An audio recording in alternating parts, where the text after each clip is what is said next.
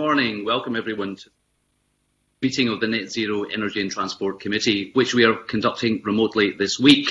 We have apologies from Natalie Don. Uh, Colette Stevenson is once again attending the committee as substitute. At agenda item one, we have consideration of whether to take agenda items four and five in private. Item four is consideration of the evidence heard on carbon capture, utilisation and storage. And item five is consideration of the committee's work programme. Are we all agreed? Thank you. That is agreed. Items four and five will be taken in private. Agenda item two is consideration of two negative uh, instruments. The instruments are laid under the negative procedure, which means their provisions will come into force unless the Parliament agrees a motion to annul them. No motions to annul have been laid. The first instrument we are considering is the Environmental Protection Single-Use Plastic Products Scotland Regulations 2021. The committee has heard evidence from the Minister for Green Skills, Circular Economy and Bi Biodiversity uh, on this instrument on the 30th of November and then heard evidence from stakeholders on the 7th of December. Do members have any comments on the instruments? If any member wishes to make a comment, please let me know using the online platform. There are no comments from members. I therefore invite the committee to agree that it does not wish to make any further recommendations in relation to this instrument. Are we agreed? We are agreed. I don't see any further comments.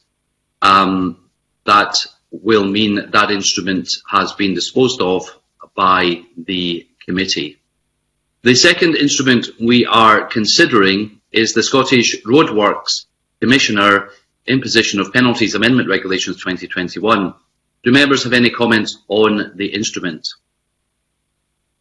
And again, if any member wishes to make a comment, please let me know using the online platforms. I see there are no comments. I therefore invite the committee to agree it does not wish to make any further recommendations in relation to this instrument. Are we agreed? We are agreed. Thank you very much. Um, the next item is a, an evidence session on carbon capture, utilisation and storage, or CCUS for short. We will hear from two panels of uh, experts this morning. The purpose of this evidence session is to hear expert views on the extent to which CCUS has a role in achieving Scotland's net zero targets. I welcome our first panel, Eric Dahlhausen, Director, Ocean Valley Limited, and Pro Professor Stuart Haszeldine, Professor of Carbon Capture and Storage, School of Geosciences, University of Edinburgh. Um, thank you for accepting our invitation. Um, it's very kind of you to join the panel today. I understand you both want to make a short opening statement. Uh, perhaps, uh, Mr. Dahlhausen, we can start with your opening statement, and you probably need to wait for a second before broadcasting turns on your microphone. I'll pass over to you. Thank you.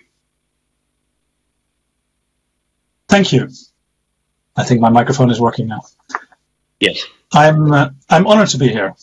I'm a physicist and a petroleum engineer, and first worked on CCS during the billion pound UK government CCS competition of 2012. It was in fact CCS that triggered my interest in climate change. This is about CCS, hydrogen, and net zero for me.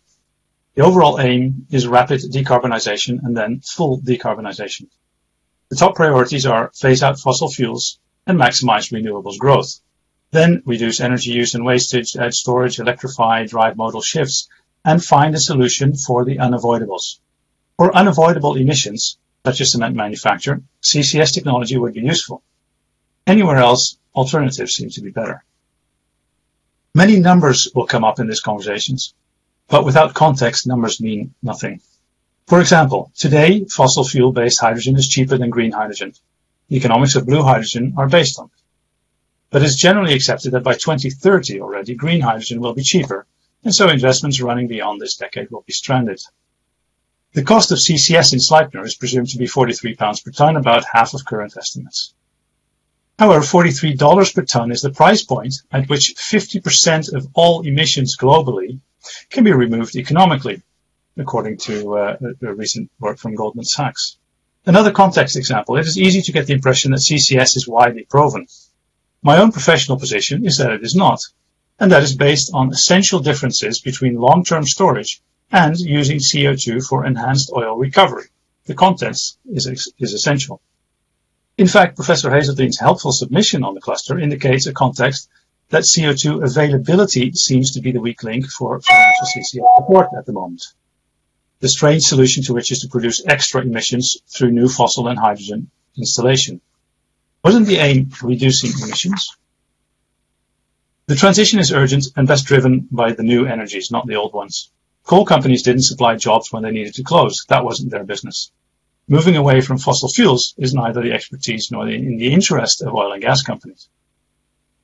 CCS jobs are not green jobs, though CCS can deliver some oil jobs. But a just transition requires jobs outside the oil industry, outside CCS and blue hydrogen. And that is not the terrain of the oil industry. I realize the problems can be complex, but in my view, the path is clear. Thank you. Uh, thank you very much, uh, Mr. Dahlhausen. And uh, perhaps I can bring in uh, Professor Haszeldine to give his opening statement. Thank you. Thank you very much, convener. Right, okay, we're on. Um, so uh, as I think we can have common ground between myself and uh, Eric Dahlhausen that Scotland's on a journey towards halting and decreasing its greenhouse gas emissions change the climate. I think we're agreed on that. Uh, but Scotland does have an ability to build and operate carbon capture and storage, as well as using natural uh, means of mitigating and storing carbon dioxide, which is the primary greenhouse gas. I think we can also agree that be means becoming more efficient in energy, switching fuels from high carbon to lower carbon and then to near zero wind, wave, tide and solar, and also capturing the emissions from all the other things which humans do, which emit greenhouse gases, whether that's agriculture, forestry, industrial actions like plastics and uh, petrochemicals, and of course cement and glass making and all those primary industries. And that does involve building carbon capture and storage to uh, uh, uh capture and store all those different emissions. And the attributes of carbon capture and storage which commend it to this mission at the moment are that we can decrease emissions extremely rapidly, uh, many millions of tons per year, rather than waiting for natural processes and much slower. We can also store the carbon back underground where it came from very, very securely for timescales, which are very important, timescales of tens of thousands of years, not just 10 years and we can recapture carbon which is already emitted from biomass, such as trees or crops waste, and also from fermentation processes like brewing and whiskey making. And we can also then reduce uh, the emissions of all those contaminants to atmosphere and obtain much cleaner air. Carbon capture and storage has been attempted to be developed in Scotland since 2005, the first project which was became public. And uh, I think we're on our fourth attempt now. And each time uh, a large-scale industrial project has been proposed, costed, and each time that has failed to be uh, funded by the Westminster Treasury. And so that's where we are. So the question is, to examine why that impasse has occurred and are there any ways around this impasse and that's what I'll be pleased to try and help with this morning. Thank you very much, uh, Professor Haszeldine. We, have heard some, and, and uh, the, those opening remarks were, were enormously helpful. We've heard some quite different outlooks in terms of the future role of CCUS uh, specifically and negative emissions technologies more widely. Uh, Professor Haszeldine, let, let, me start with you, um, and I'll bring in uh, Mr. Dahlhausen separately. Um, I wonder if you can explain and elaborate on your opening remarks and, and explain how significant CCUS could be in order to achieve Scotland's um, transition to net zero and, and what policy measures you think both the UK government and the Scottish government need to undertake to make it a, a central part of that journey to net zero? Okay, so I draw the attention of the committee to predictions made by Committee on Climate Change, which is a UK-based committee but has a specific Scottish subgroup which reports specifically on Scotland. And the role of the Committee on Climate Change is to uh, predict emission, understand emissions of carbon dioxide now and predict the pathways into the future, which may result in net zero emissions by 2050. And that net zero change, which came about in 2019, uh, has really revolutionized and accelerated the interest and the strength of uh, development in trying to reduce carbon emissions and also try to uh, recapture carbon emissions, as I mentioned in my initial statement. And so it's clear that uh, emissions of carbon dioxide and greenhouse gases can be reduced to maybe down to 80% of present values by uh, switching fuels, by becoming more efficient, all of which can be very sensible economic measures as well, commercially profitable measures. But we also need to do other activities such as recapturing carbon as well as capturing carbon. And it's that which balances the residual emissions. So residual emissions from using fossil fuel fertilizers in agriculture, residual emissions from industrial activities. Those residual emissions are either really expensive or really difficult or both to capture. And that's why uh, some negative emissions are needed and the Committee on Climate Change uh, projects that both uh, significant carbon capture needs to be underway by 2030 and negative emissions need to be underway by 2030 if we're going to be on a pathway to meet the Scottish target of 2045 net zero. So that's why this particular few years we're in now is particularly important if that's going to be developed in time uh, to meet the the ambition by 2045, we need to start now because these are large scale, very large scale industrial projects.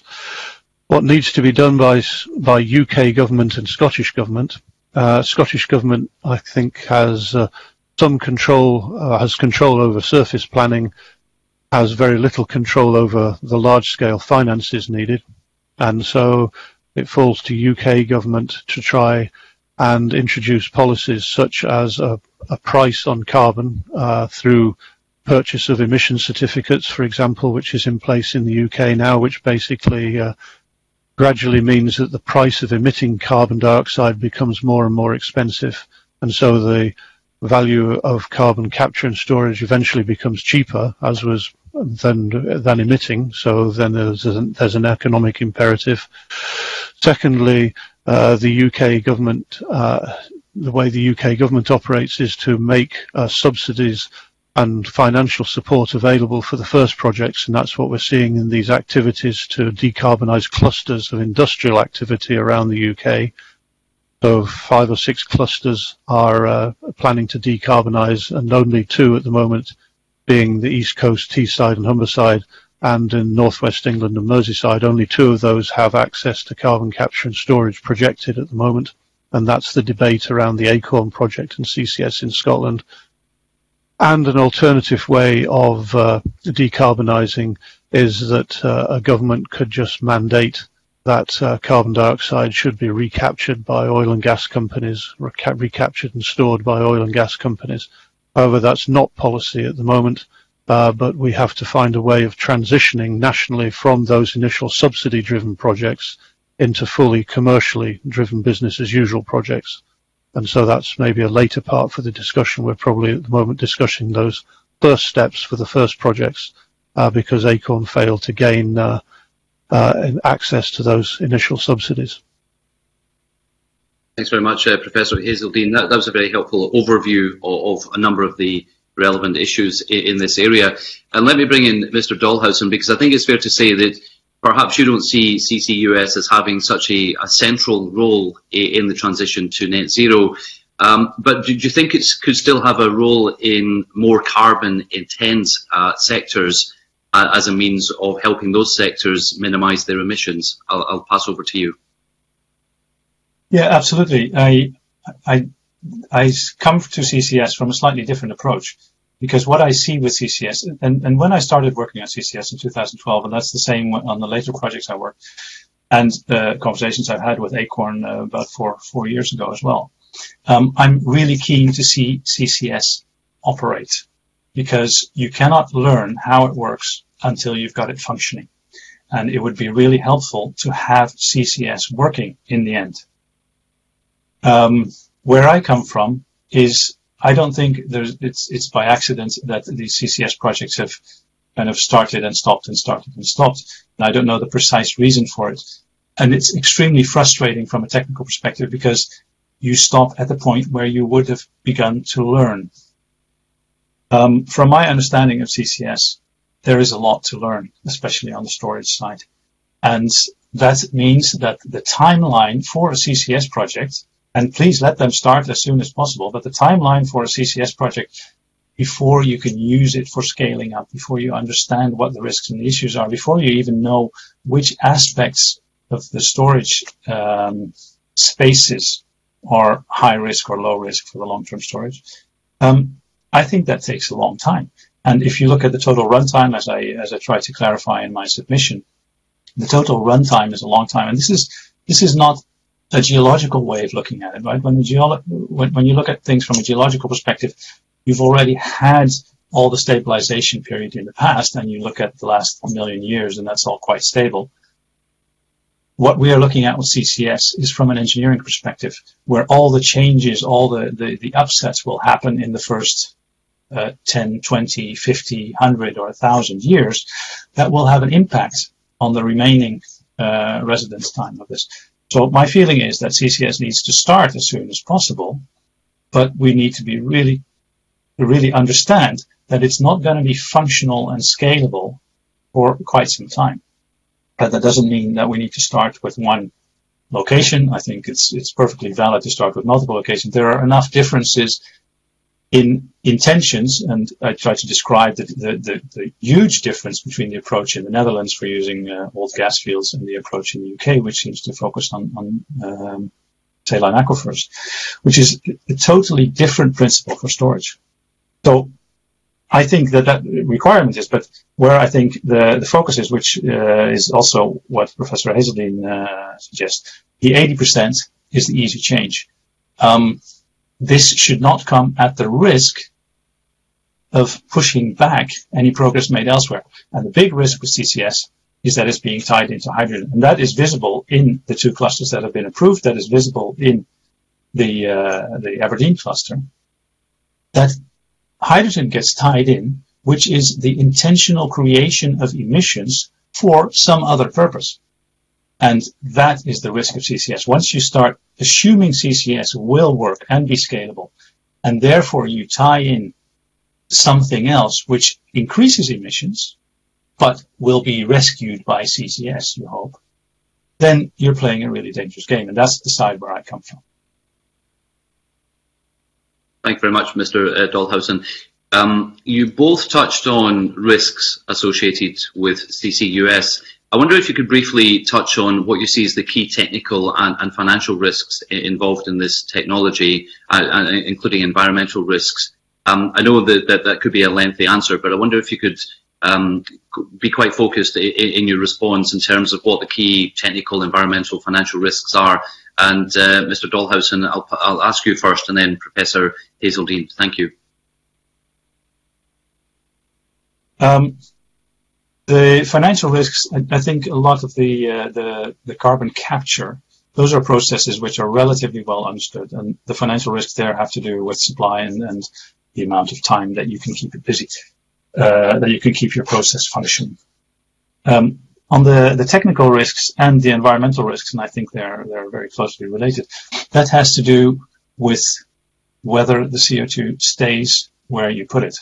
And of course, I'm simplifying it a little bit because it will not stay where you put it because that is the intention. The intention is that it distributes itself. And if you put it into gas fields, then the CO2 will typically go towards the top of the gas field where the gas was, but it will also dissolve in the aquifer if there is an aquifer and as it dissolves in the aquifer, that will displace, uh, because dissolved CO2 in water is heavier than the water in the aquifer, so will start very slowly mixing that aquifer. Now, some aquifers, for example, uh, on, on some of the fields I've looked on, they flow, and part of the reason they flow is because of oil production and gas production elsewhere. But I'm, I don't know if there are other reasons why they flow, but that flow from historical production will continue.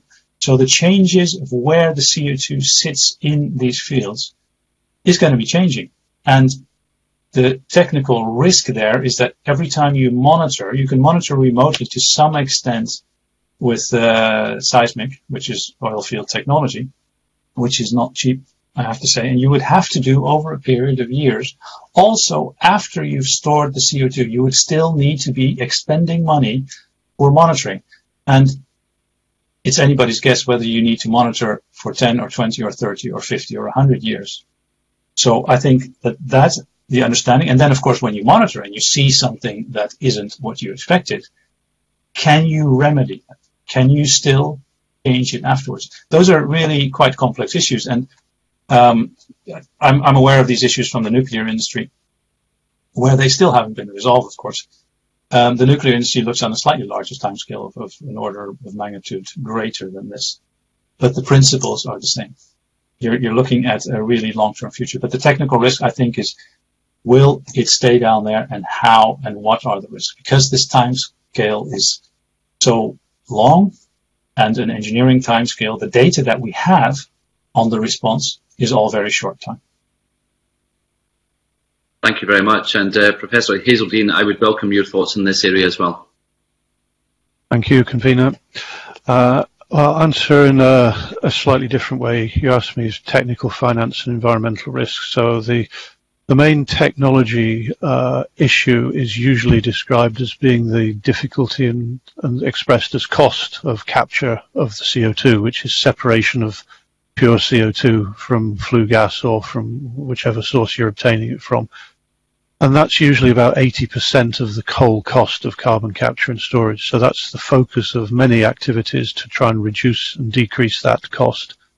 As uh, Mr. Dahlhausen has said, I think carbon capture is well established as as a process or many different processes. There are maybe six or ten different processes for different purposes.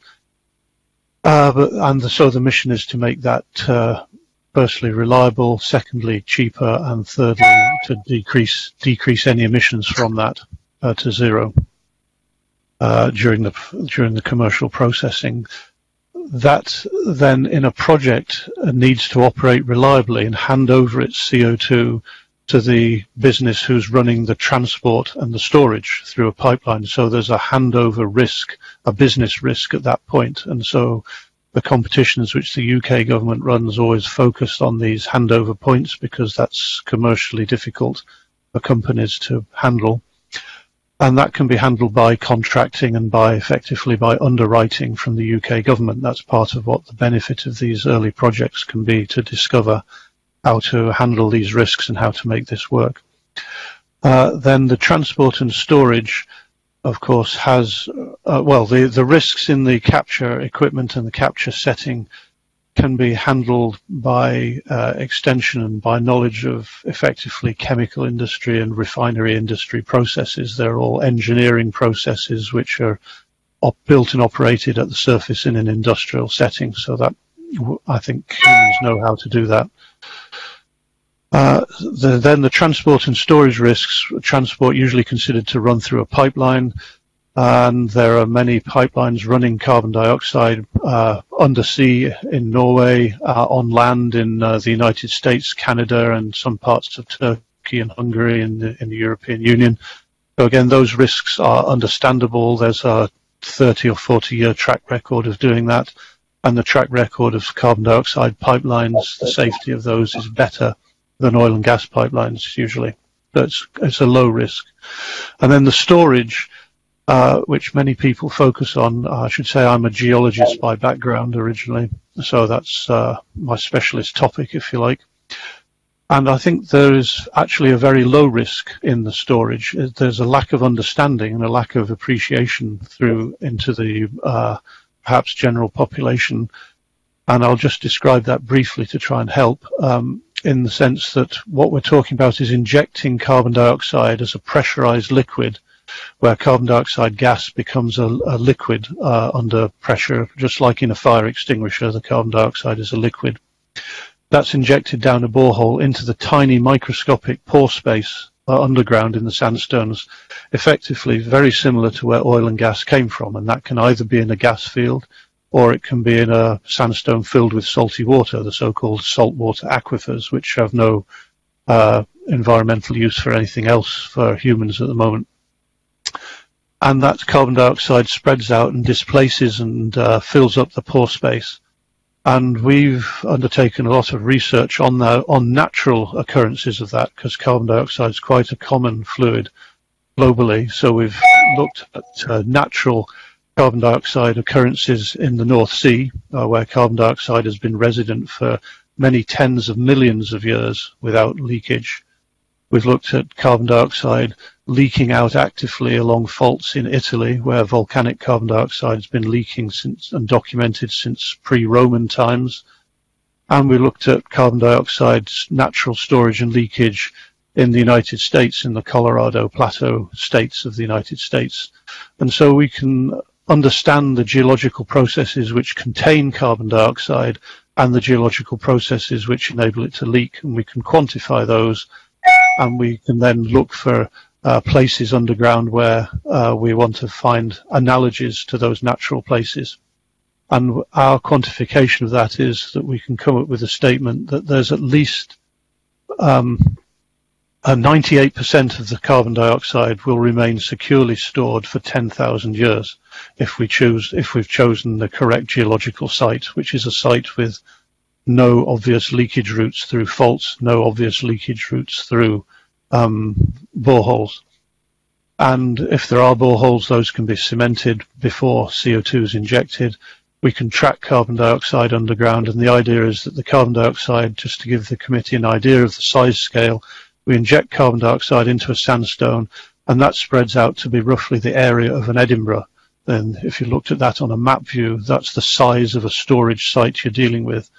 Some of the storage sites offshore are areas the size of a Glasgow, for example. So these come in different size scales and the spacing between these sites offshore is at those that sort of tens of kilometers of spacing. So each sites are different to each other. They have individual geological characteristics, but we have examined, uh, we can examine sites in the North Sea, both in the Irish Sea, the central North Sea and the southern North Sea, which have all retained carbon dioxide, as I said, safely and securely for many, many millions of years.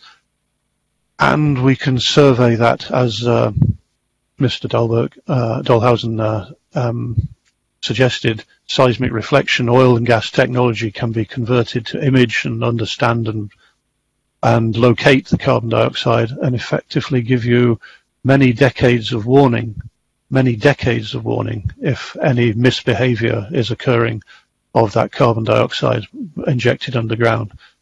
And that's, so I've described the alternative of injecting CO2 for safe and secure storage for tens of thousands of years. The alternative, of course, two alternatives are either to behave at the moment, emitting all of the carbon dioxide to atmosphere, which is the worst possible case, 100% leakage, or uh, the other radical alternative would be to stop producing oil and gas and fossil carbon uh, overnight or effectively as soon as possible. And that's really very difficult to do in our terms of our industrial society. We're progressing towards uh, finding different sources of clean energy, but stopping overnight is, of course, technically possible, but very socially disruptive. That's it. Thank you. Thank you very much, uh, both of you, for those uh, fascinating insights and, and for um, sharing your thoughts with the committee on, on the risks and the wider perspective uh, on CCUS. Let me bring in other members for questioning. First of all, Fiona Hyslop, to be followed by Jackie Dunbar. Thank you.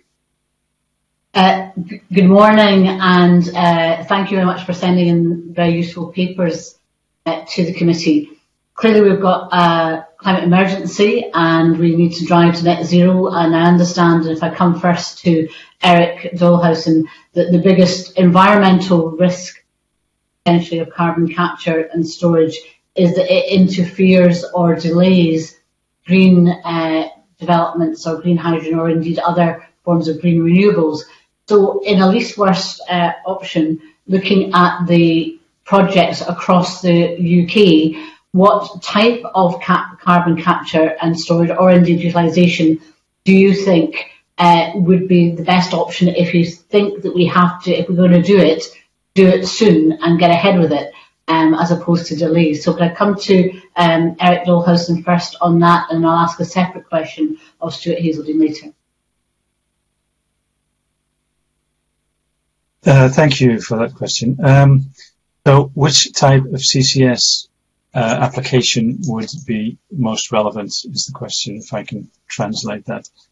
Um, in my view, CCS focused around um, unavoidable emissions. And I think that there's quite some clarity on what are really unavoidable emissions, what are still maybe unavoidable emissions, and what are avoidable emissions. And that would take away not necessarily the, the storage sites of the current areas, but it would remove hydrogen from that equation because that type of fossil fuel hydrogen is not supportive of the decarbonization. It's, it is something that relies on CCS. It relies on additional volume storage space of CCS in order to store stuff which we could also acquire in a different way. So I think that that is um, is a critical part of it, and um, I don't think that the alternatives are either keep on emitting or stop overnight. I think the alternatives are to transition, um, and the fact that we have wasted 30 years before we started transitioning. Um, that was, was the time in which we could have done it really nice and lovely and slow and well considered. Now I think we need to do that a little bit more dramatic. But focusing on unavoidable or practically currently unavoidable emissions, I think is a valuable place to start but letting it drag in anything else that stimulates emissions is, um, is, is, I think, uh, not a very good idea. Thank you. And if I could now come to Professor Stuart Haszeldine, uh, in your paper you were, I think, uh, quite direct about the disadvantages to the uh, Acorn project of the BEIS criteria. And if we are to do carbon capture storage projects and we have to move ahead as quickly as possible. Uh, can I ask you about the BEIS criteria and how it either advantages advantaged some sites but disadvantaged the Acorn site? And is it, from what we've heard, um, that focus on volume of um, CO2 that is the issue and the combination of different sites adding to a volume and indeed that point about connection to emitters. Is that the crux of this as to why it didn't go ahead in, in, in phase one and what would be needed to make sure it definitely went ahead in phase two? Okay, uh, thank you, Deputy Convener. So what I tried to explain in my uh, paper submitted to the committee is that uh, in running a what is effectively a competition across the UK, then Department for Energy uh, BEIS in Westminster create a set of criteria uh, because that tries to make that fair for all bidders. So the criteria published in the BEIS briefing paper and are weighted with percentages for effectively for five exam questions and you've got different percentages for each exam question. Uh, but effectively about 35% of that is for the, the I think for the uh, the amount of the tonnage, and a further 25% is effectively on the cost per ton. And so if you're a project which has got a very large tonnage of CO2 to uh, claim to be disposed of before 2030, then you win out on that tonnage uh, marking, on that metric. But around the UK, as I've briefly mentioned, there's about six different industrial areas, and those have been moving towards making the bids, which are input during 2021. Those have all been moving towards making their bids during the past couple of years.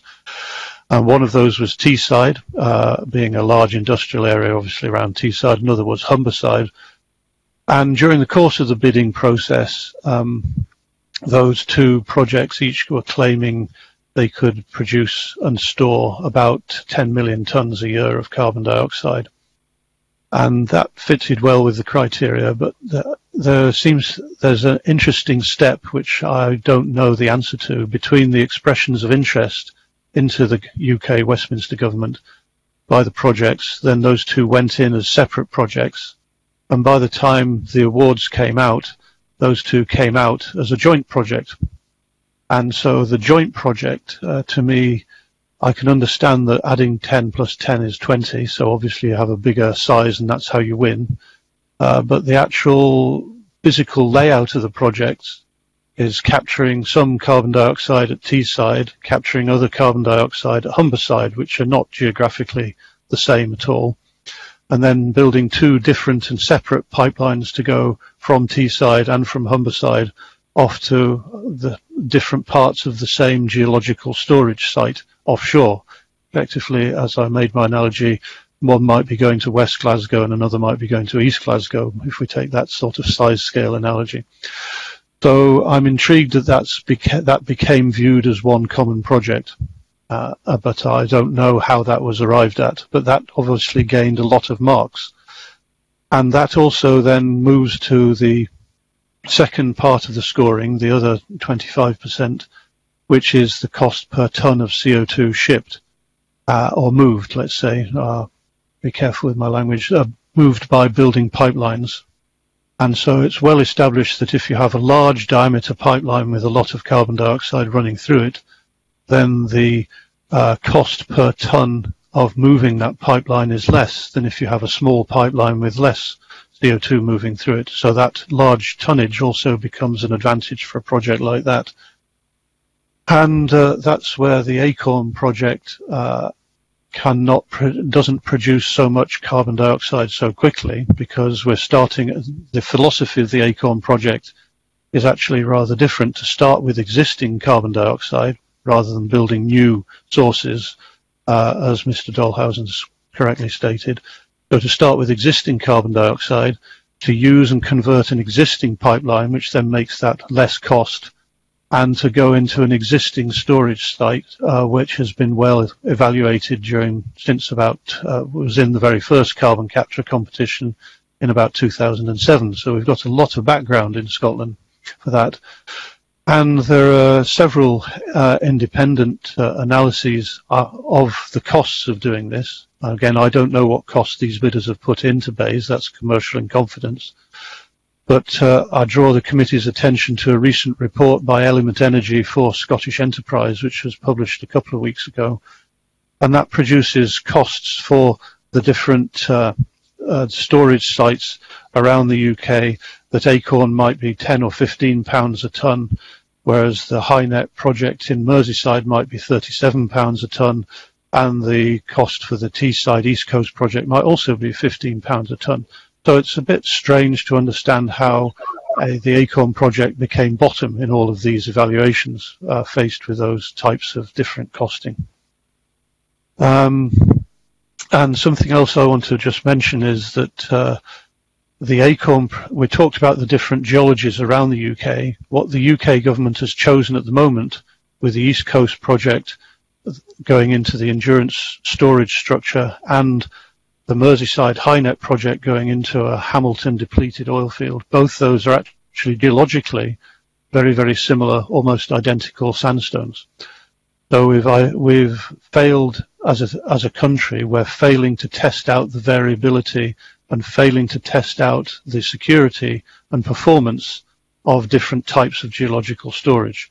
And what Acorn offers is access, first access into a huge diversity of geological storage offshore east in the what's known as the central North Sea, effectively east of Aberdeen, northeast of Aberdeen. So I think there's uh, with the UK government has maybe chosen on cost, but has introduced a systemic risk, which is uh, not uh, a sensible thing to do. Uh, does that answer enough of your question, uh, Deputy Convener? Thanks very much. That's extremely helpful. I'm sure colleagues might want to follow up on some of these points, but convener, I'm very conscious of time. But I, I think from this, it's quite clear that the these criteria are highly questionable from both a financial and environmental point of view for, for, from what we've heard. But um, I'm happy to pass back to the convener now because I'm conscious that other members have lots of questions. Thank you very much, uh, Fiona. Let me bring in uh, Jackie Dunbar to be followed by Liam Kerr with the supplemental in this area. Jackie, over to you. Thank you, Convener, and can I thank the gentleman for coming along to the committee today. I mean, it's already been touched on uh, regarding the decision of putting the Scottish cluster onto the reserve list. So can I ask, um, what do you think the, the impact will be to our emissions reduction targets following that decision? Um, do you want me to to ask uh, Professor Haszeldine first, please?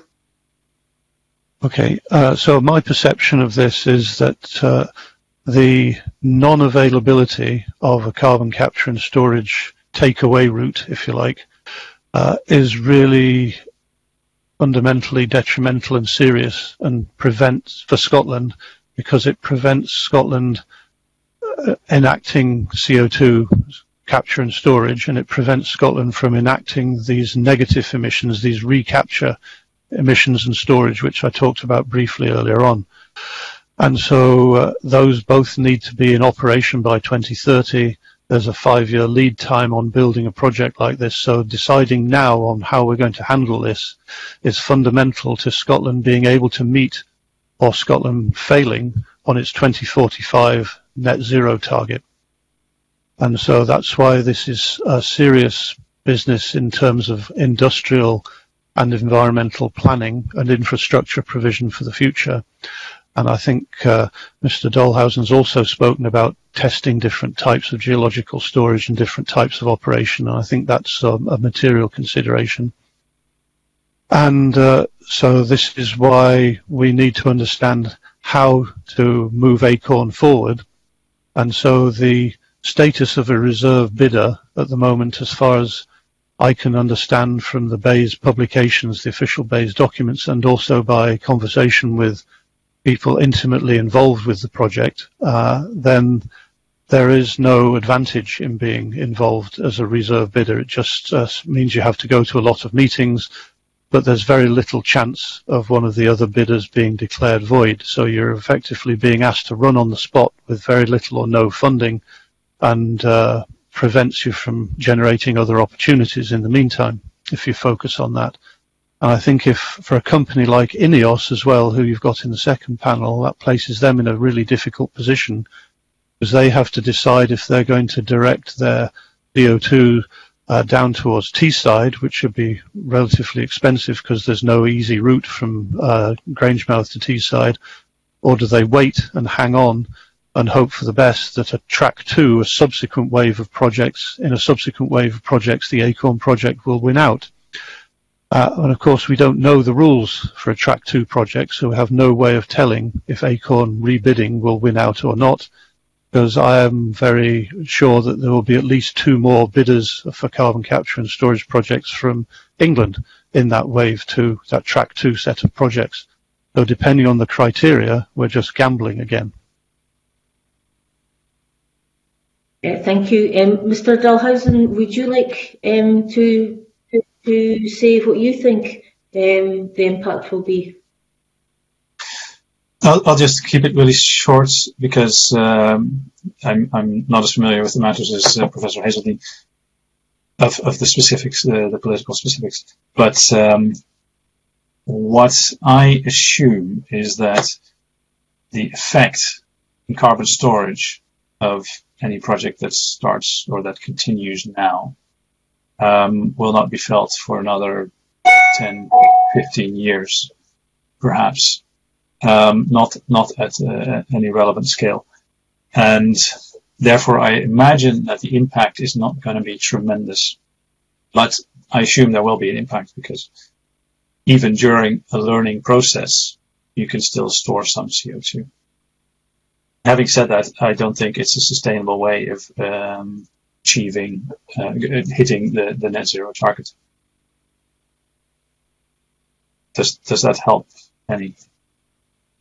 Thank you. If I can just go back to Professor Haszeldine quickly, um, can, I, can I ask you what you think can be done, uh, can St Fergus and the Scottish cluster do to uh, evolve and adapt in the short to medium term to make sure of ongoing investment to secure the jobs?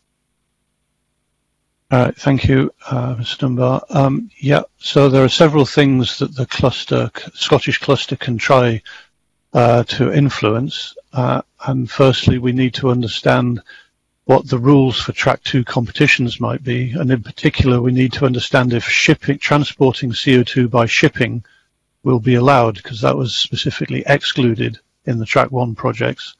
And the Peterhead deep water port is very well set up for importing carbon dioxide shipping in effectively small tankers from the coastal locations of the UK, whether that's around the London, southeast of England area, whether that's Southampton, whether that's South Wales. And that can be a profitable business, which then helps those other parts of the UK to decarbonize by transporting their CO2 to a geological storage site uh, beneath Scottish waters. Secondly, the UK needs to try and keep the carbon price high.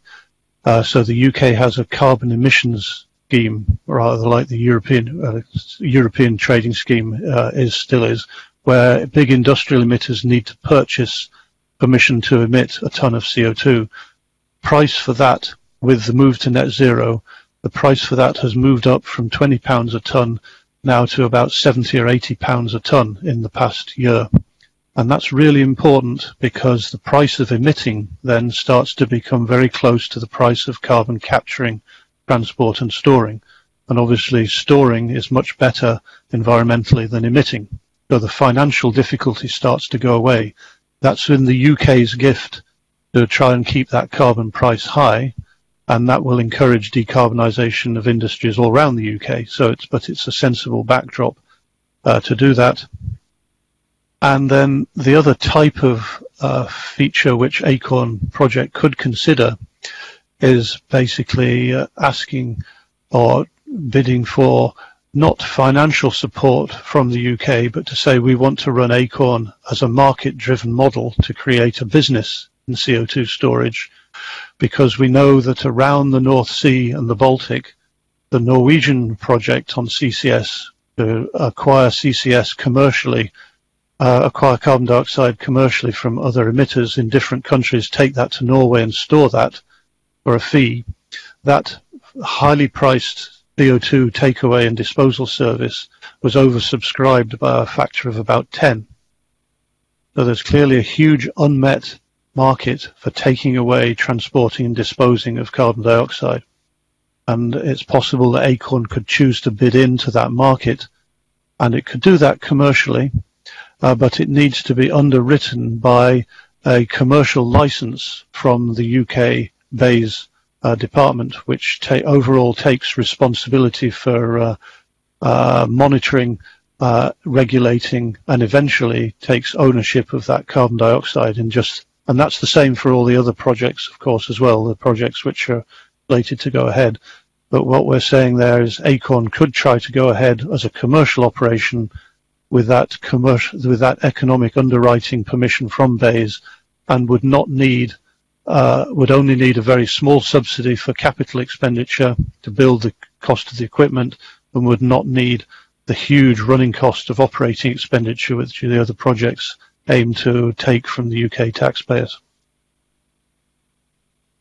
Does that help? Uh, yes, thank you very much. Um, it was very very, very helpful. I thought, um, convener, that's all I have at this present moment in time, so I'll hand it back over to you. Thank you.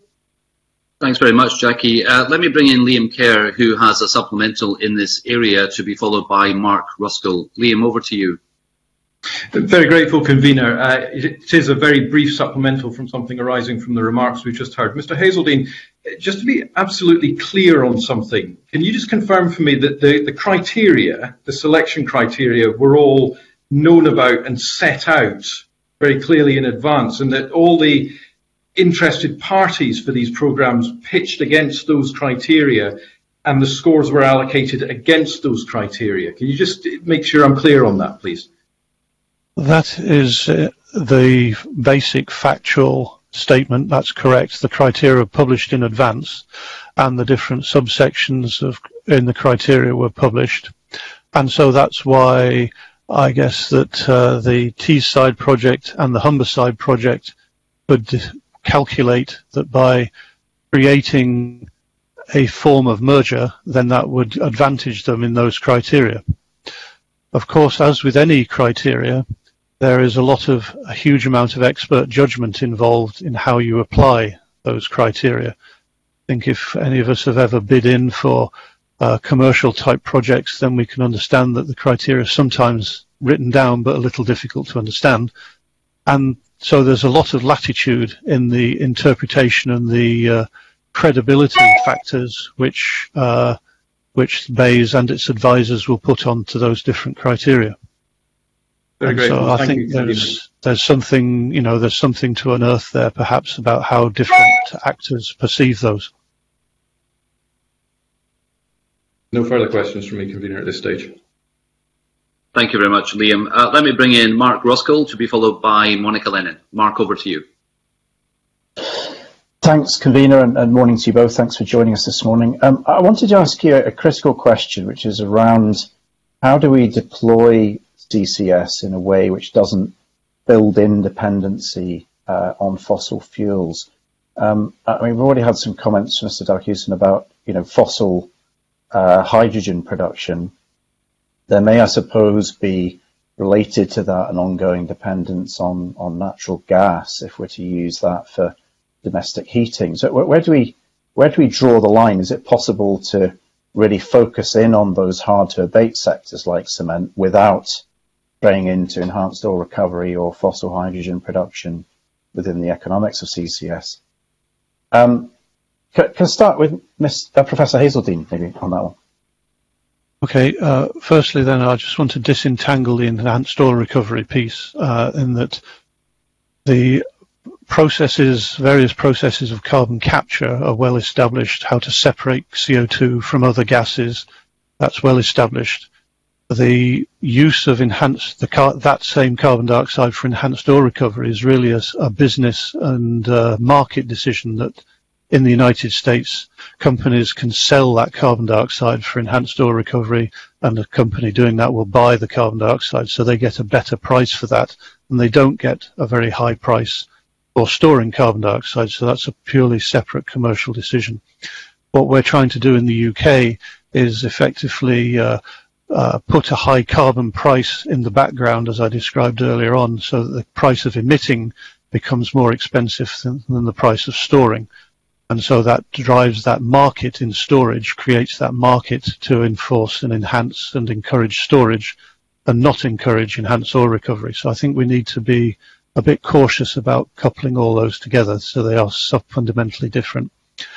Um, how do we ensure that we don't just carry on producing fossil fuels?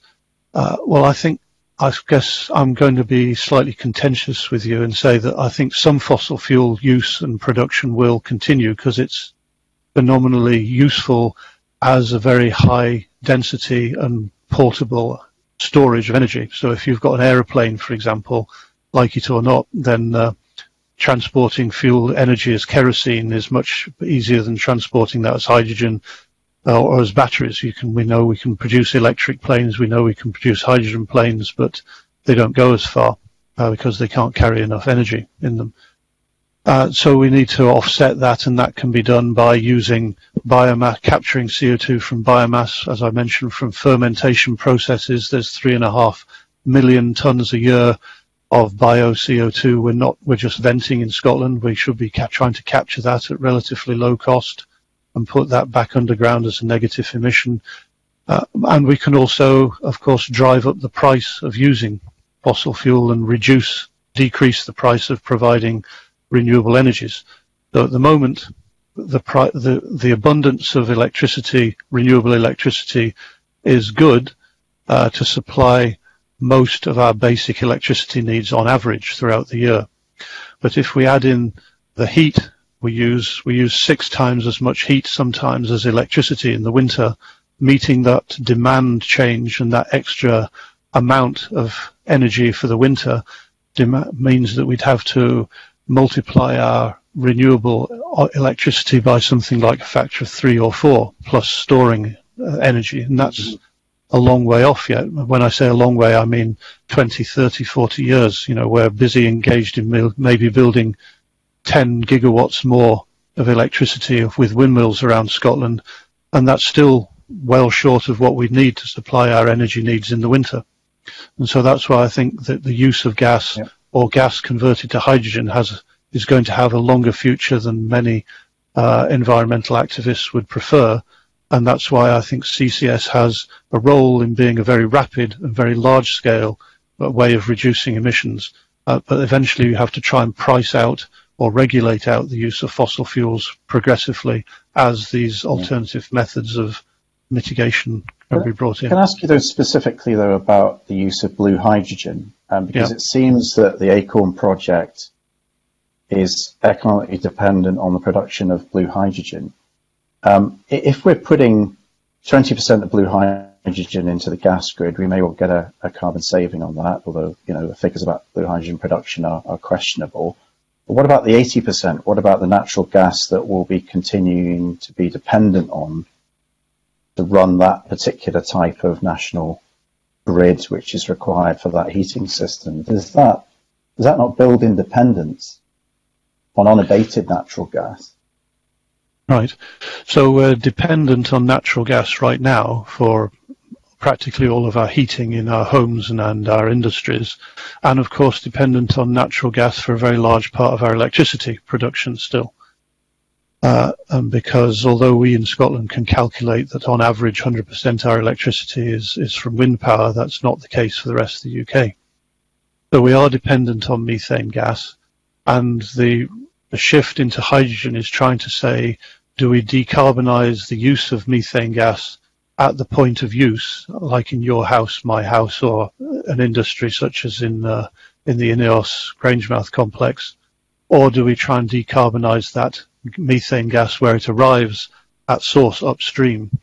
And that's what the process of making hydrogen at uh, at St Fergus would be with the Acorn project by using uh, not a steam methane reformer, but an autothermal methane reformer, slightly different, a different chemical process which keeps the CO2 inside the process and is actually a more efficient and effective process, which, according to the developers, uh, can capture 99% of the carbon dioxide uh, produced in that process. So again, I think we need to go quite detailed specifics on that blue hydrogen route and because that blue hydrogen route in the UK will be bringing CO2 onto the shore from pipelines from the Scottish part of the North Sea or the Norwegian parts of the North Sea, where there's very little minimal leakage of methane from that production and from those pipelines, very little embedded energy in moving that methane. And then if we can convert that methane very effectively to hydrogen at the point of entry and send the CO2 offshore, that is a very uh, neat industrial way of trying to minimize those emissions.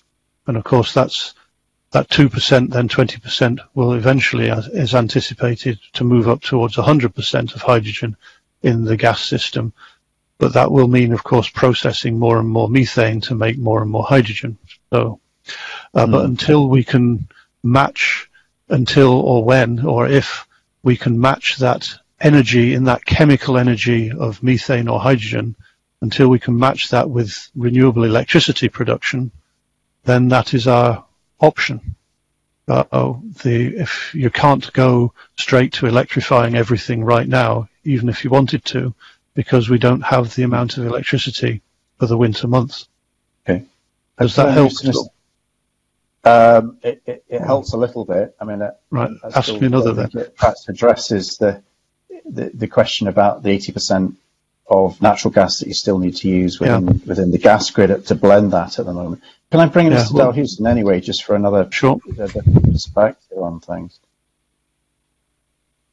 Yeah, thank you. Um, because I, I have a, a, very different view on on this matter, and even though yes, the heating um, Scottish heating costs in winter are quite large compared to the electricity uh, supply, um, there's also something called a heat pump, which you'll be well familiar with, which multiplies the uh, the efficiency, heating efficiency of electricity by a factor of three to five, depending on how you can do it. And if you want to stay closer to the multiplier of five, then it takes only a very small amount of, for example, geothermal energy or other solutions to get to that point. So without stepping into the, the, the, the explicit discussion on how quickly can we build renewables, um, that I think is not the issue. I think the change to hydrogen in itself that that that's um, carries a efficiency penalty, and just like CCS does, CCS carries an efficiency penalty. To inject the gas underground costs an additional 20 to 25 percent of energy compared to the amount that you uh, produce. Um, so you have to take the whole picture into account. I think it's too easy to say, okay, well, yeah, we'll never do that in time, so let's do something else that emits. Um, suggesting that we will replace 20% of the, the gas system with hydrogen, that has very little impact. And there's there's uh, recent studies that came out which have been uh, widely commented on, um, illustrating the amount of upstream emissions from natural gas. And the upstream emissions in, in methane as well as CO2 cannot be controlled to the extent that they disappear. And the work that has been done by um, uh, uh, Howarth and Jacobson from Cornell and Stanford, um, they they used real life data where from from certain areas. In fact, they did a global average um, where a large percentage of methane is lost in the production of natural gas. Now, while Professor Haszeldine suggests that we can do it better and we don't spill as much gas during our production process, the UK is a net natural gas importer. So it's easy to say, well, we will use our relatively clean, not clean, but our relatively clean gas, turn it into hydrogen. But that means that we will need to import more natural gas from elsewhere where the leakage rates and therefore the methane spillage is higher. And just for comparison, the Jacobson paper um, came to the conclusion that um, CCS, because of the additional energy requirements, if you use natural gas for that, uh, was actually less efficient than burning the natural gas in the first place rather than converting it into hydrogen. So there's a lot of energy balance. There's a lot of context going on there. It's very difficult to say, okay, well, this is the answer. I have confidence that um, renewables can be built in time, as does the, uh, the, the, the, as far as I'm aware, the CCC, but definitely the IEA and, and various other groups. And if you can do that, and you need hydrogen to make life easy for certain areas, then green hydrogen is um, a far better way, a zero emissions way to bring that down. And since green hydrogen is the long-term target anyway, both for the CCC and for, for the IEA and for all, all models assume that green hydrogen will need to rule out uh, grey or blue hydrogen. Um, and Scotland being one of the two highest potential uh, green hydrogen producers, I see no reason to uh, not go there straight away and to take this interim step, increase natural gas production, increase the emissions that go with it, increase the embedding of the oil industry further in the energy system, where it's been incredibly difficult to get rid of it in the first place for the last 30 years. So I think the risk of taking that path is extremely high from a lot of perspectives. Okay, thanks. Thanks both for that. Um, can I just ask a, a further follow-up question? Um, there has been discussion within the government's climate change plan about deploying CCS technology on waste incineration, energy from waste plants, um, of which there are, there are you know, numerous around Scotland. They're in different locations. Can you can you comment on the the economics of retrofitting existing plants? Um, and whether CCS could be deployed effectively at that scale for for future energy from waste waste incineration plants. Um, could I go back to Professor Haszeldine on that one? Well, I think that's a really good question because uh, a lot of the uh, waste which we're combusting in energy from waste is bio waste, organic waste. And so this can, if the CO2 is captured from that, that can form another route to negative emissions by uh, capturing CO2 from the air, the atmosphere with normal biological organic processes and then putting burning that waste and putting the CO2 underground. And it's a huge disappointment and I think a huge planning error systematically that the UK as a country has not has failed to take any advantage on the energy from waste plants, either in district supplying heat to district heating or in trying to capture the carbon dioxide from those plants. And so if those plants are running at about a size of 20 or 40 megawatts, which some of them are, then yes, it should be commercially feasible to capture the carbon dioxide using existing known carbon capture technology. It should be feasible to capture the carbon dioxide from those plants.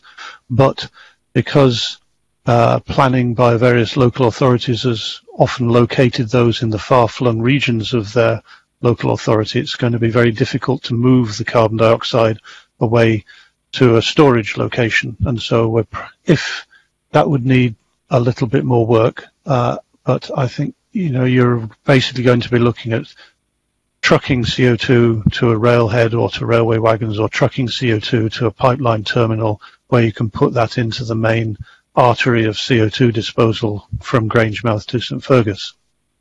And so I'd be very keen indeed to see those included in our uh, environmental low carbon ambition. Uh, could I just, I just want to come back a little bit on, on uh, Mr. Dahlhausen's statement that uh, mentioned the paper by Jacobson and Howarth, and that's a notorious article uh, in the academic community at the moment because it's it's really quite deliberately taken very pessimistic assumptions for the leakage of methane through uh, pipeline systems. Some of that's justified in the United States, for example, but here in Europe, and particularly the UK and Norway, we have much better measurements and we can be much more secure that uh, we're not leaking anything like that quantity of methane so that the uh, development of blue hydrogen is much lower emissions than mentioned what I think uh, is the is the elephant in the room there is that the UK will be importing more and more methane from liquefied natural gas shipping and that has a huge embedded emission in the compression and cooling of that of that gas. And so we want to get out of that bind as much as possible. And as I think was briefly mentioned one way out of that is to make our housing and our buildings much more efficient in terms of insulation and energy use. And that's the way we escape that's that's all. Thank you. Mm-hmm. Um, I, I, know time's getting on. I don't know if Mr. Dahlhausen wants to come back on on any of uh, any of those points or in relation to waste incinerators. Uh, just quickly, um, I appreciate the time. Um, the in, in, principle, the waste incineration, uh, I, I, agree with Professor Haszeldine. The risk involved in it is that waste incineration is also where single-use plastics end up, and single-use plastics, of course, are hydrocarbon sourced. At least most of the carbon in single-use plastics is hydrocarbon sourced. Um, so using the waste incineration and moving that to CCS is the way I look at it probably going to be a tool for plastic manufacturing to say, okay, single-use plastics is not a problem as long as we throw it away afterwards because it'll all end up stored.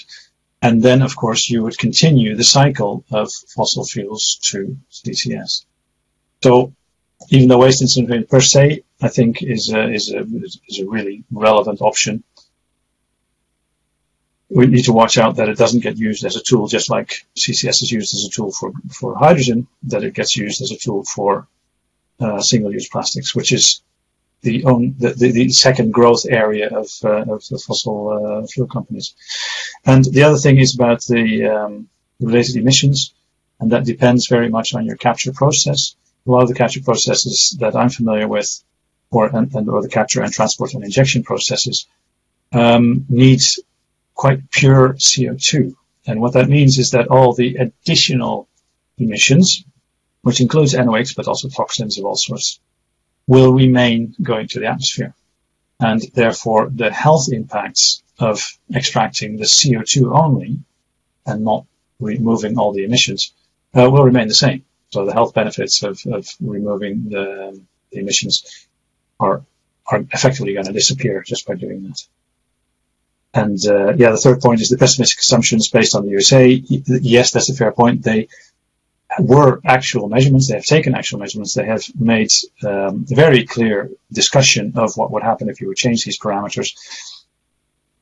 But I have a lot more confidence in a report that's based on actual measurements than what the um, Committee for Climate Change, for instance, uh, stated in their response, which is taking the vendor promises of efficiency of CO2 extraction and using that as a fact. And that is where the, you know, the 99%, the lab scale efficiency of extracting CO2 uh, from flue gas. Yes, that might be achieved at some point, but very rarely does industrial scale anything achieve the efficiency of lab scale. Thank you. Okay, thanks both. Back to you, convener.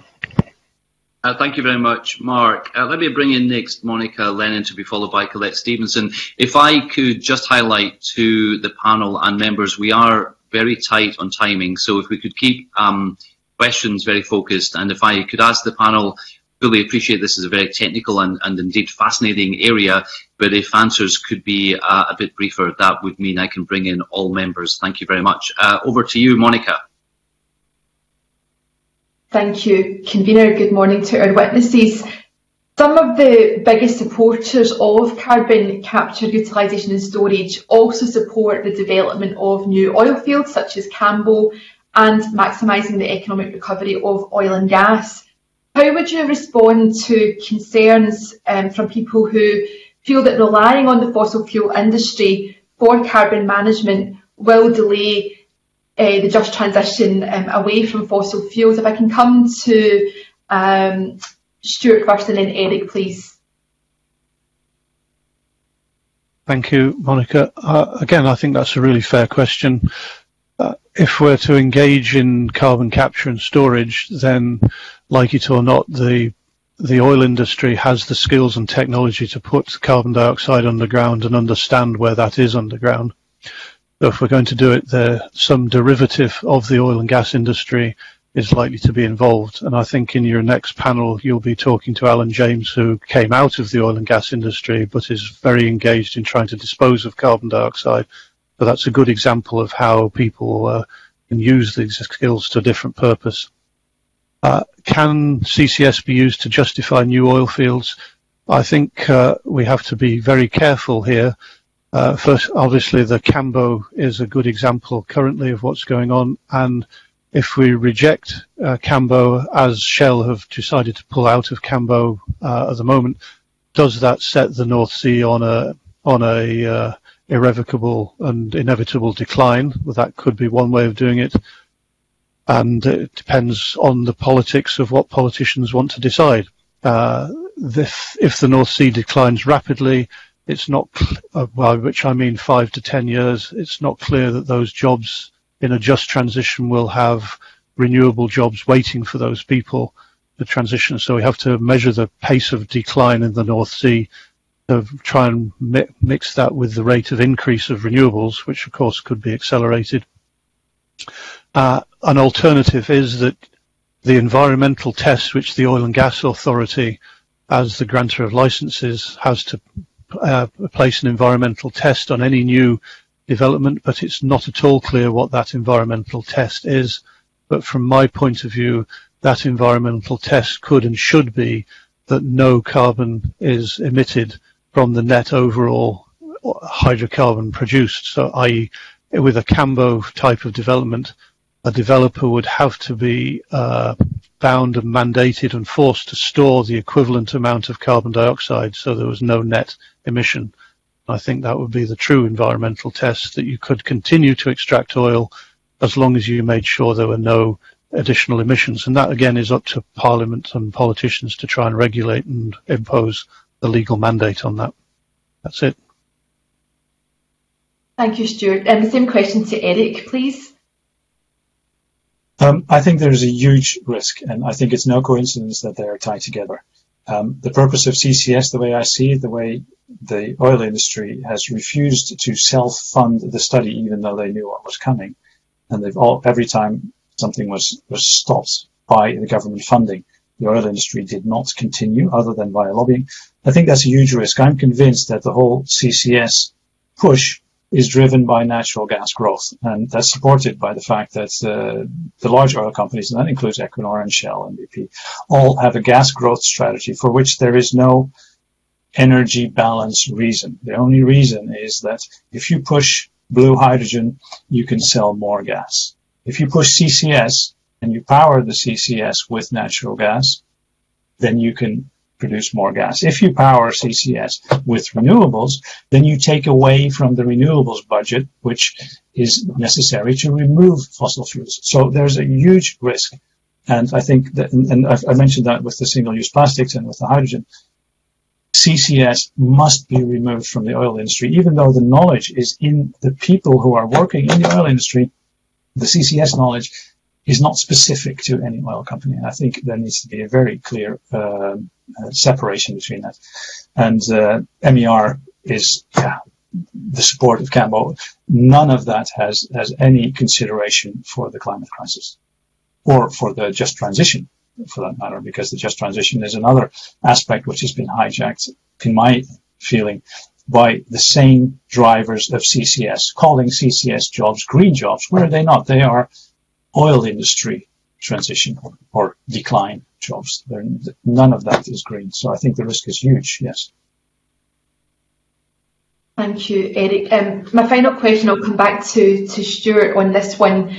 Uh, in your view, if carbon capture, utilisation storage doesn't go ahead in Scotland at the, the scale we've discussed today, um, what will this mean for Scotland's journey to net zero? What will it mean for jobs in Scotland? And what will it mean for our obligations and response to the climate emergency? Okay, uh, so the the simple understanding in terms of reaction at the moment is that uh, with no CCS, then the the projected pathway which Scotland is proceeding on, the pathway laid out for, from the Climate Change Committee cannot be achieved because we can't reduce our emissions by capture of CO2 and neither can we undertake negative emissions to capture CO2 from the air or from biomass and plants and fermentation and put that underground. So the 2045 net zero ambition disappears. Uh, if uh, in terms of jobs, then CCS uh, projects in Scotland have calculated that that would add something like two or three percent of gross domestic product to Scotland. So it's a huge value across all of Scotland and obviously the direct jobs are on the east eastern seaboard of Scotland, and those CCS jobs uh, can be have been calculated at maybe 10, 20, 25,000 jobs uh, directly related to that. So there's a huge supply chain which could be involved in, in CCS projects in Scotland and in the UK. Uh, and so this has this is a serious consequence. Uh, there may be a way through this, but at the moment, talking about that with the Committee on Climate Change last week, we can't think of a way out of that at the moment. And the way out of that may be much more assertive action on on uh, making housing more efficient, decreasing energy use, making energy use more efficient, but that entails much bigger social uh, change and social uh, acceptance. And we know that that's taken 30, 40, 50 years so far. We know exactly what to do to make houses much more energy efficient, but we've failed to land that positively with many of the public. And so how to do that in the timescale remains an unanswered question. Okay, so does that, hopefully that helps. Thank you, Stuart. Yes, it's a helpful answer. I know we're running out of time, so if I can come to Eric briefly to respond to the question, perhaps respond to any of the points that Stuart has made. Thank you. Yeah, just just very quickly. Um, first of all, there are many routes to achieve net zero for Scotland, and the the the parameters that you put into it decide what you get out of it. And if you put CCS and hydrogen into this route, then you build it around. But there are there are other ways of building the route to net zero in Scotland without CCS. Um, regarding the jobs, taking jobs out of context is something that uh, every organization has done for as long as I've been alive.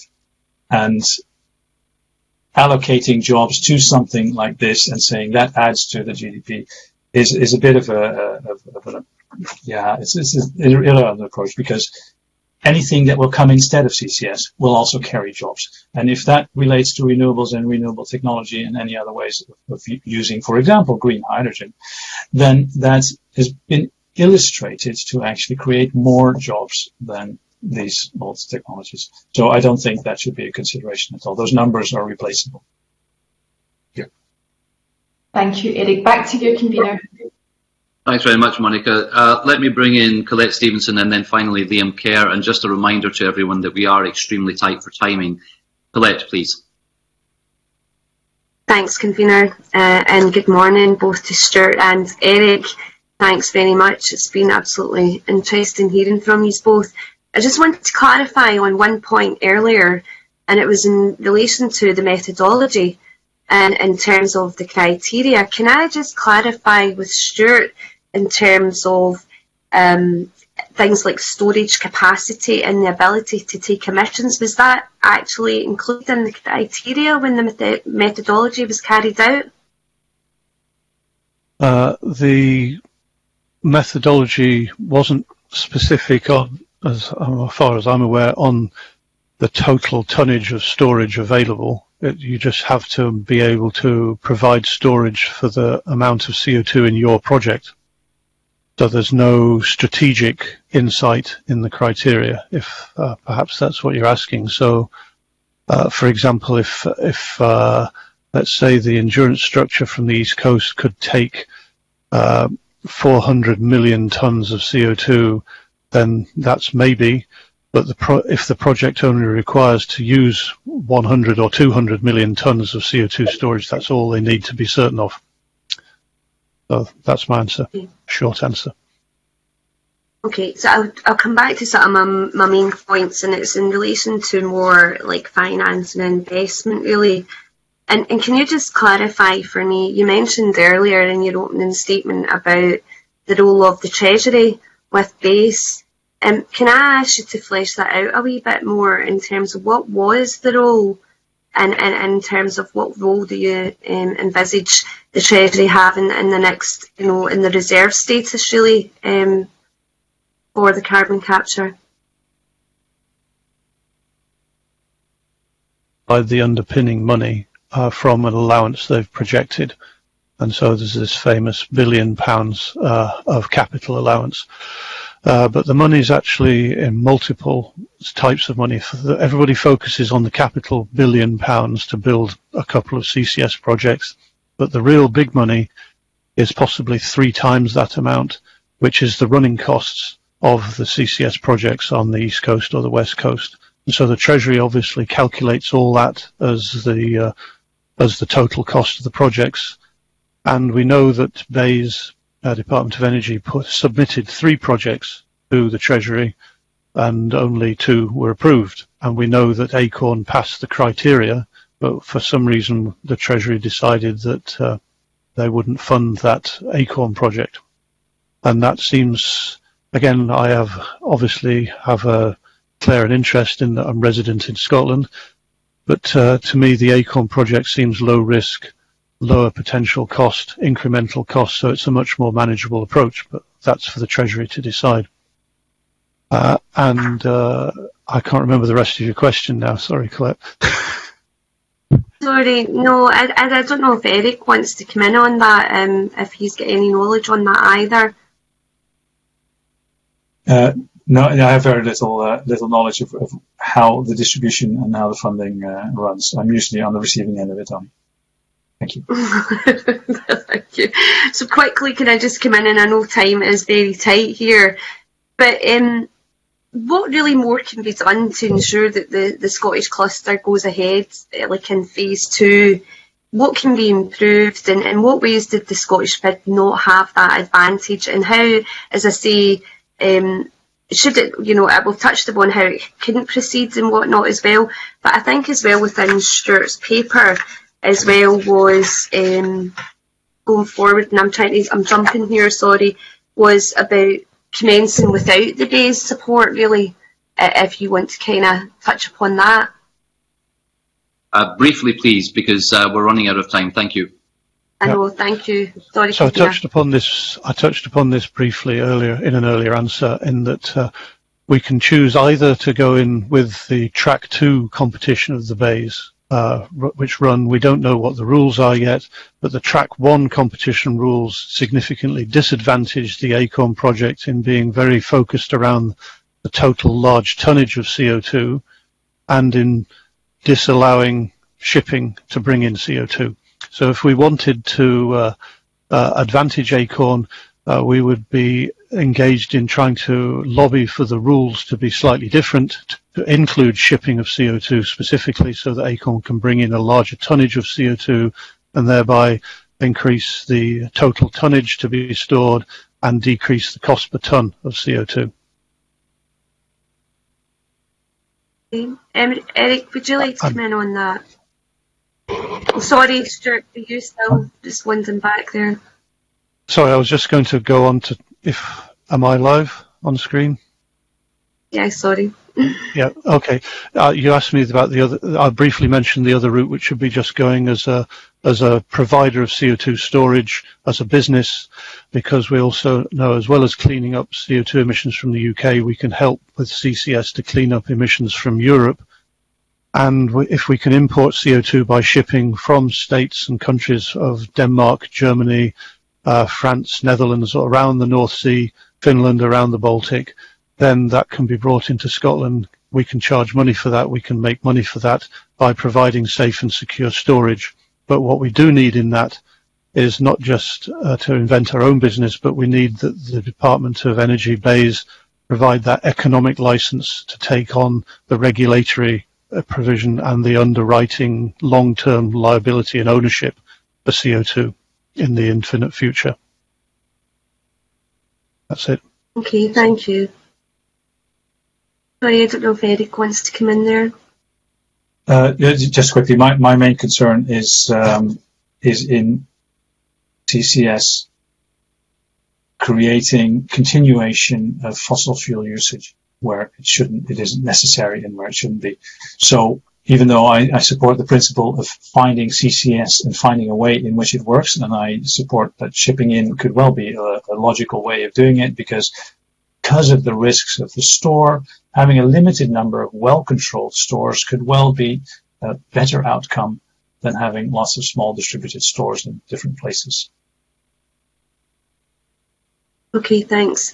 Um, I've got no further questions then. Thanks. I'll pass it over to convener. Uh, thank you, Collette. And finally, Liam Kerr, please. Thank you, Convener. I'll be uh, as brief as possible with two direct questions to Eric Dahlhausen, please. Uh, first of all, Eric, uh, Oil and Gas UK's Energy Transition Outlook reports a total capacity to hold 78 billion tonnes of CO2 under the North and Irish seas. Now, uh, as I understand it, that's about 190 times greater than the UK's annual emissions of 400 million tonnes. So even if we were to accept all of the concerns that you've raised today, given those figures, is CCUS not something we ought to be not only exploring, but really ramping up rather than holding back on? Um, I come back to my introduction about the context of the numbers. Uh, the 78 billion tons is a first pass estimate of where geological storage could be available. Um, having worked on two earlier projects, um, one which turned out not to be feasible because of uh, the absence of a secure store, which that project from 2012 is still in those 78 billion uh, in, in, that volume. Uh, when I stated in my uh, my submission that whether this number, which is the total geological store, whether one in 10 of those actual storage spaces would be viable, or whether maybe one in a thousand of those storage spaces would be viable, that you will not know until you do the detailed investigation, which is now happening on, on, on Acorn, well, which Acorn has been working on for some time. And then by finding out whether it responds to how it works. So the 78 billion tons of capacity, and I don't think they use the word capacity, but there, there's a different way of calling it, is not the number, is not the amount of CO2 you can store. That's the long and short of it. Right. Uh, so moving on then, I mean, I'm going to focus on figures again. Uh, because that's yeah. what we've got to work with, it seems to me. We've spoken a lot through this session about hydrogen and your concern about creating fossil fuels. I was looking at this this morning. The International Energy Agency have various model various scenarios in which they anticipate that hydrogen will meet 10% of global energy consumption by 2050, and they seem to suggest that 40% of that hydrogen will come from natural gas facilities equipped with CCUS, i.e. blue hydrogen. And if that's right, does that not suggest that this technology must proceed in order to ensure we get to the hydrogen uh, hydrogen economy that I think most of us would be looking to get towards?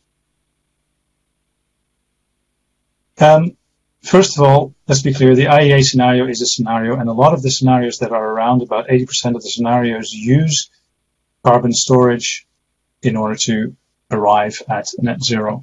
Not all of them, 80% of them do.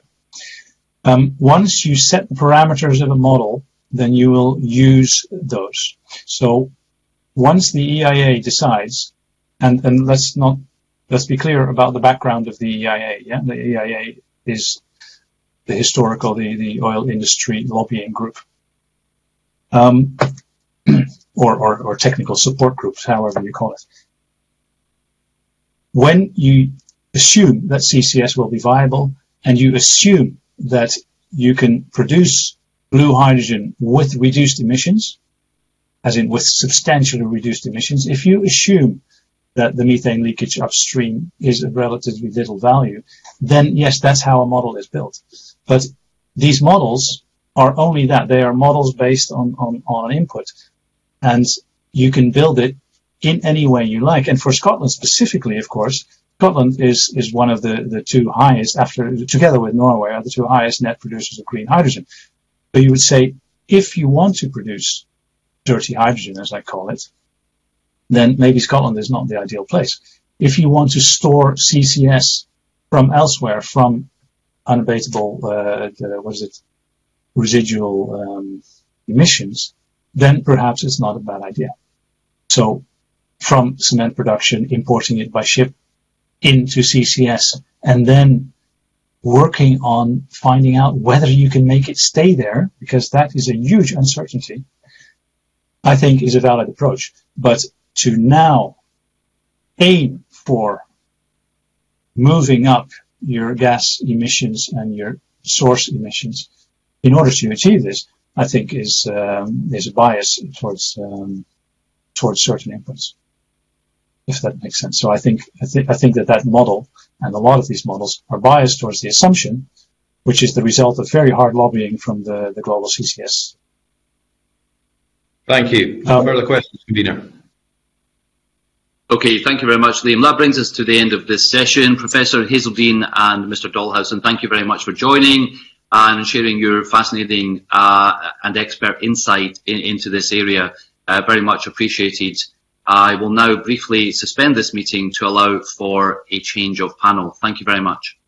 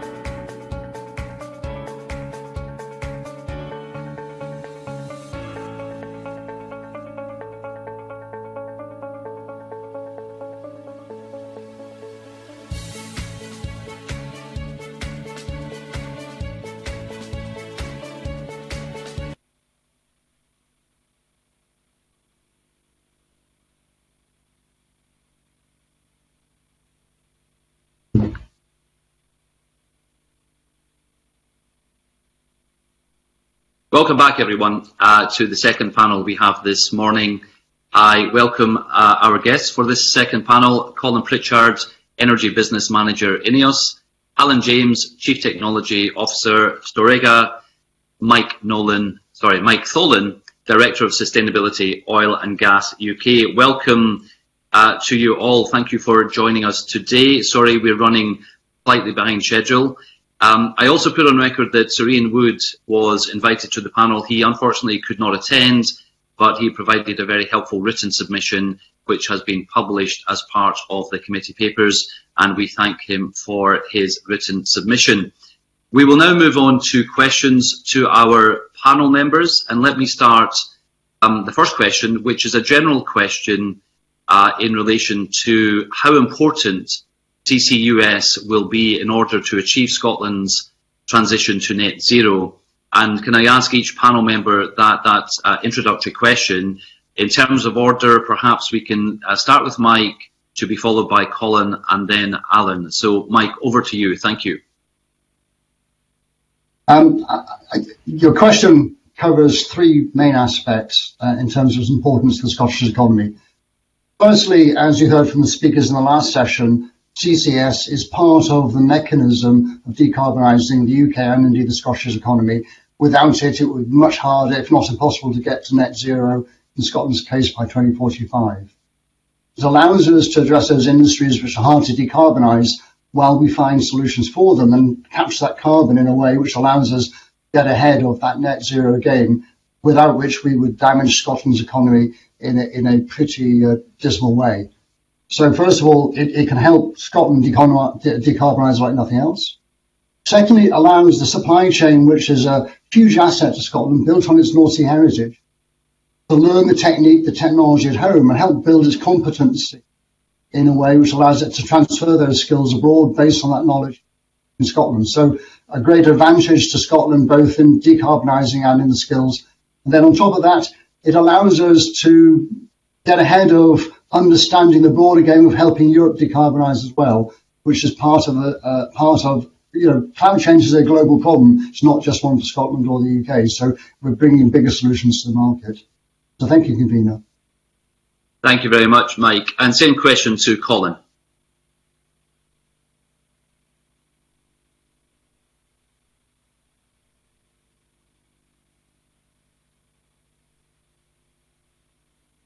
Can we arrange for Colin's microphone? We can't hear you at the moment, Colin. We'll arrange for broadcasting to unmute you.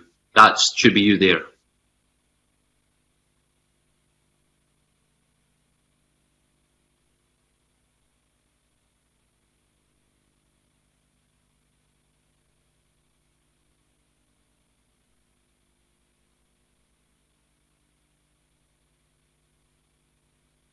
Colin, we're having a bit of an issue hearing you, so we'll try to get broadcast to fix your microphone.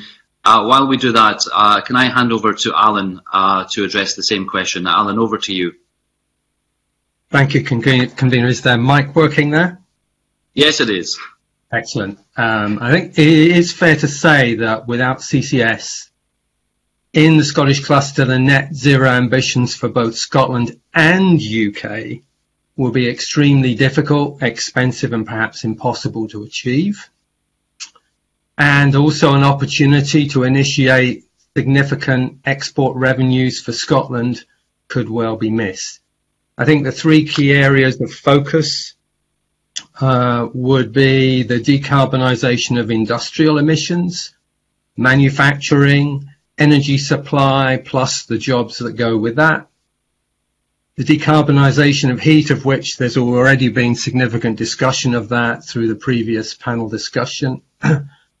also, very importantly, is the enablement of net uh, negative emission technologies such as direct air capture, which enables some of those technologies that you simply can't electrify, like airplanes, uh, aviation, and many aspects of the business sector to uh, decarbonize and uh, eliminate their emissions. So CCS basically is, is the foundation which uh, all of those things are going to rely on, and we need them for net zero.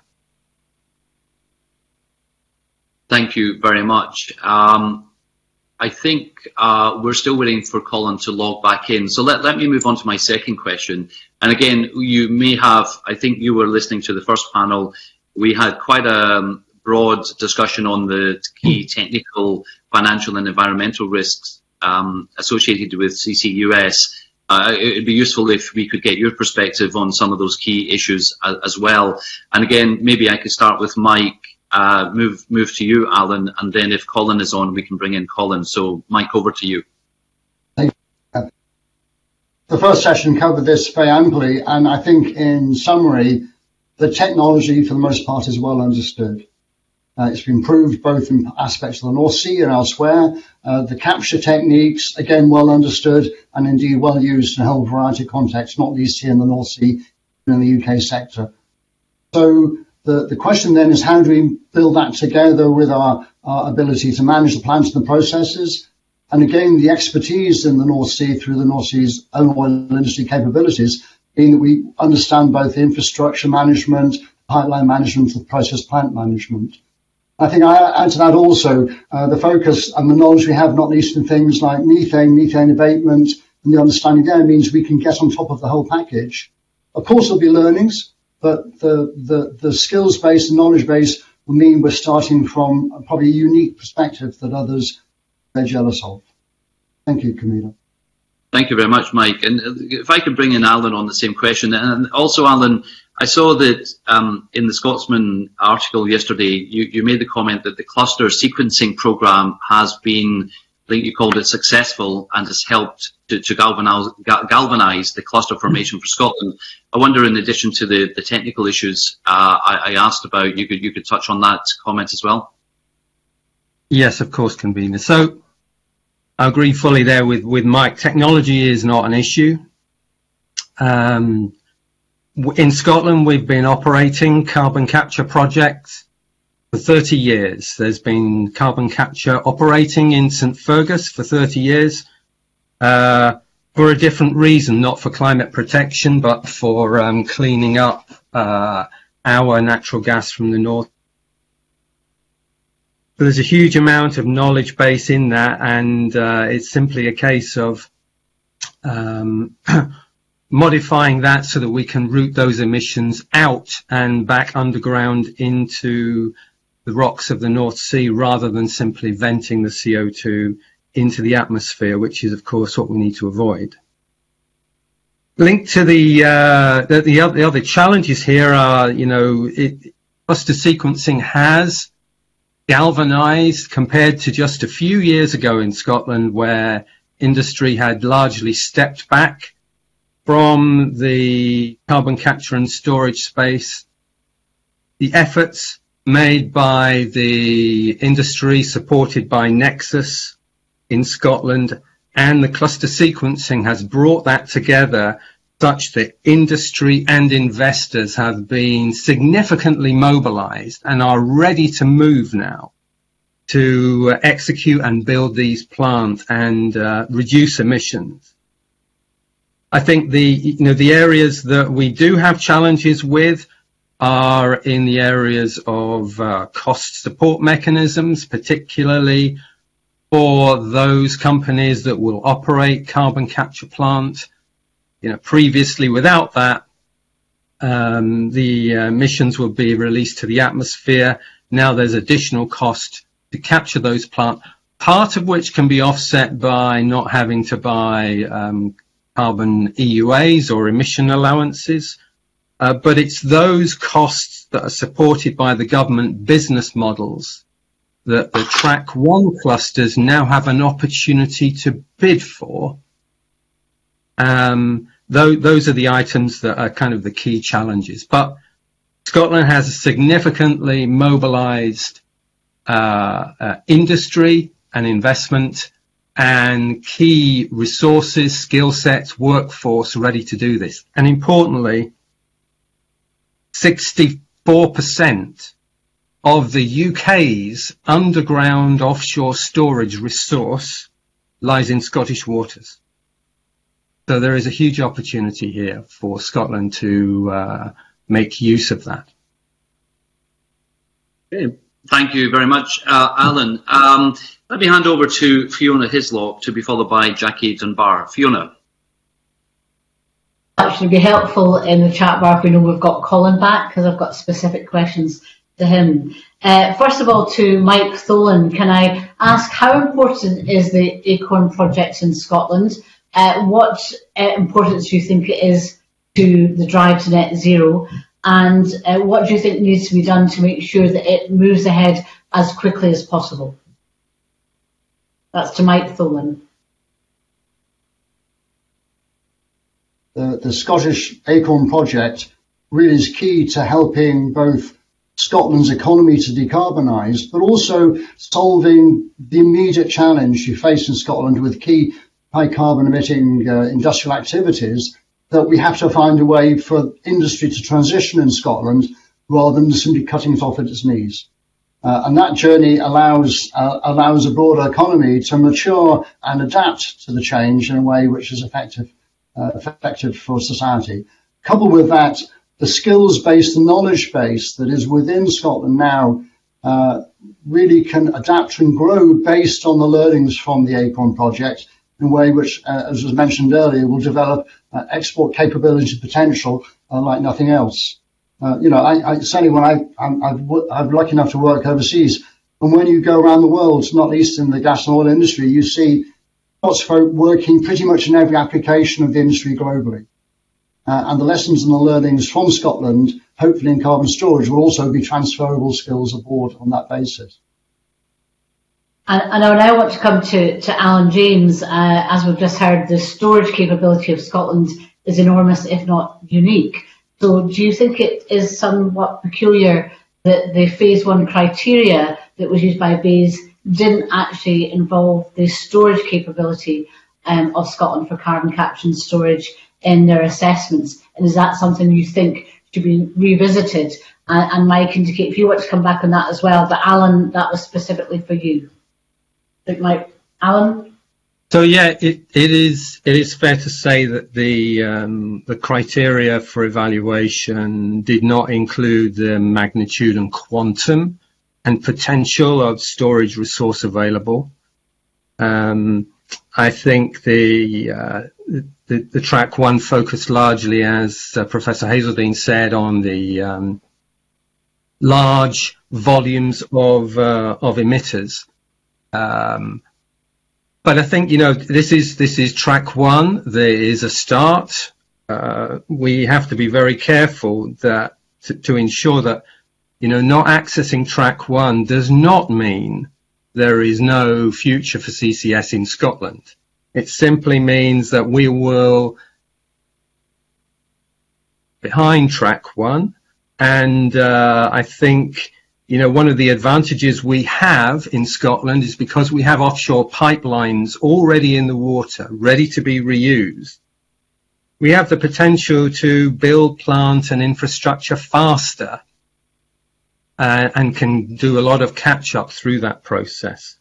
So uh, I think that's that, that, that's where I kind of sit on that. I think um, uh, we, we've already spoken about the importance of the CCS for, for net zero. Um, and I, I, think what needs now to move forward with speed is uh, clarity about the forward uh, process with uh, UK government and more detail about what uh, reserve status really means with respect to the procurement process. Thank you. And Mike Tholen, do you want to just comment briefly on that before I move on to Colin? Um, this is one case where we simply cannot rely on the two current solutions to meet the UK's needs. Um, they may be slightly ahead, but this is not a single track train line. We need all of these projects to happen and happen at scale. Uh, and the unique opportunity of the ACORN project, both in addressing Scotland's needs, but as Anne has mentioned, the offshore infrastructure, the capabilities, the knowledge of St Fergus, um, those are things which in any external competitive analysis surely have to stand out as part of the long game. Um, I have no doubts that the UK government is thinking very hard, and I have no doubts that investors in that project are challenging the UK government to look at the longer term solution here. As Alan says, this is not the end of the rails, uh, end of the road for that project. Uh, it's, it's a small setback, but you have so many advantages that it is just simply inconceivable that the UK and Scotland will not see that project go ahead. It's a case of um, waking up and getting on with it.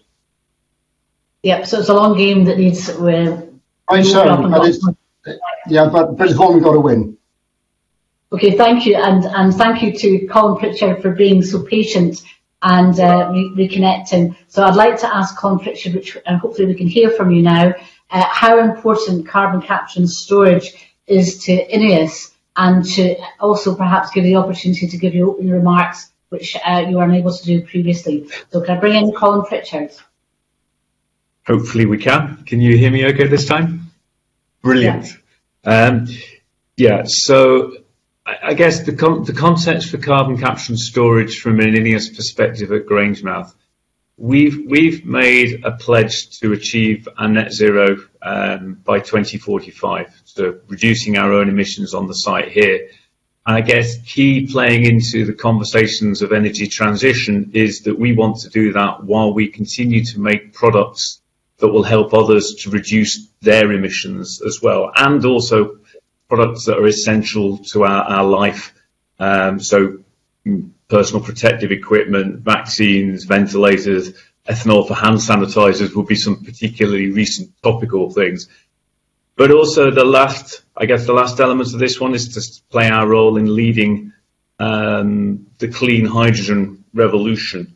Um, so I guess there's a, few elements as well to unpack within here in terms of enabling emissions to go from the central belt of Scotland. Uh, it, it's I've heard the, the, first panel discussing about fossil fuels.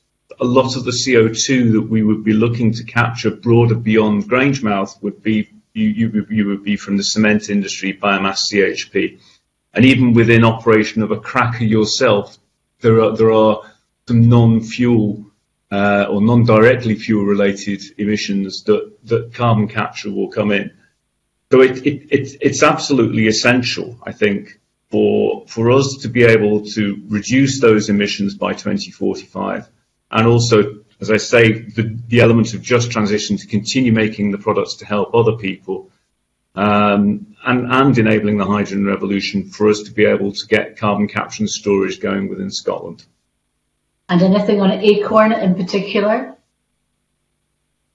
Well, access from Grangemouth to Acorn is going to be by far the most efficient way. Um, so, sort of the plans that we have for, for taking material, re, further reuse of infrastructure, so national grid infrastructure to get CO2 back north uh, from the central belt of Scotland, uh, that will provide a route which will be probably the most cost efficient uh, route to actually decarbonise this area. And, and the bits that are important to remember in this is that, that the, again, we had some conversation this morning about if the cost of permits continues to go up and up and up, that will make the finance of uh, the, the commercial imperative for carbon capture you know, more relevant. Well, it does, but actually those are both burdens that come on the business that the business cannot necessarily survive and still produce an internationally traded commodity.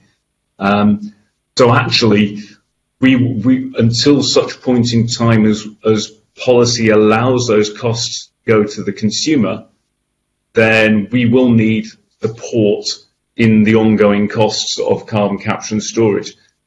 So that means that if it's going to cost us more to actually abate than CCS, then that's going to be a cost that we will be looking for help from, from government from in, in, in those support mechanisms.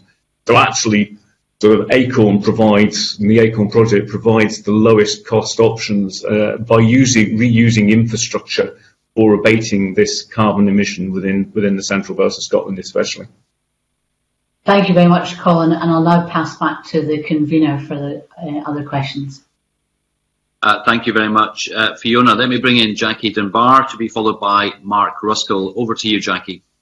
Uh, thank you, and I know that we're short for time, convener, so I'll just have the one question this time, if you don't mind. Um, I, I, think hearing from both panels today, I think we can all agree that Scotland's got a huge uh, asset in the, the ACORN project. So on those lines, can I can I ask the panel now what they think uh, St Fergus and the Scottish cluster can do to evolve and adapt in the short to medium term to ensure go, uh, um, ongoing investment and your jobs. I know I asked the first panel, but I would quite like to hear the answer from the second panel too, if you don't mind. Um, can I start with Colin, please?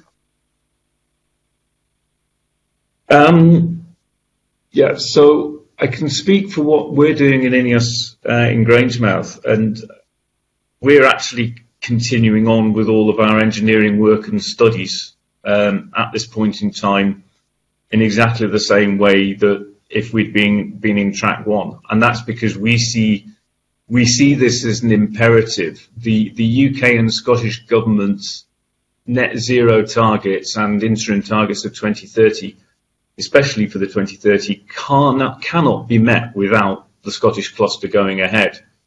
So we are absolutely committed to supporting that and are continuing on with our engineering and efforts to support the Scottish cluster to deliver.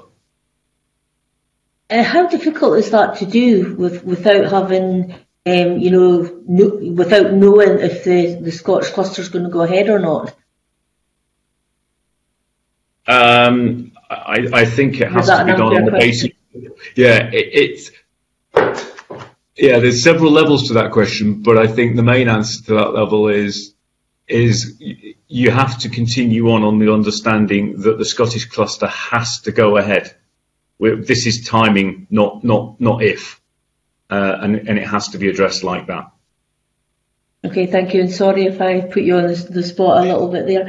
Um, can I ask Alan, please? Thank you, Mr. Dunbar. I think the uh, the key issues here are on maintaining momentum and confidence in industry and working as hard as possible to encourage clarity from UK government on the follow-on pace for the process. One important aspect to bear in mind is that the Scottish cluster has been fortunate to be the recipient of significant UK government funding through the Industrial Strategy Challenge Fund, and the works around that are, are scheduled to continue probably until the middle part of 2023.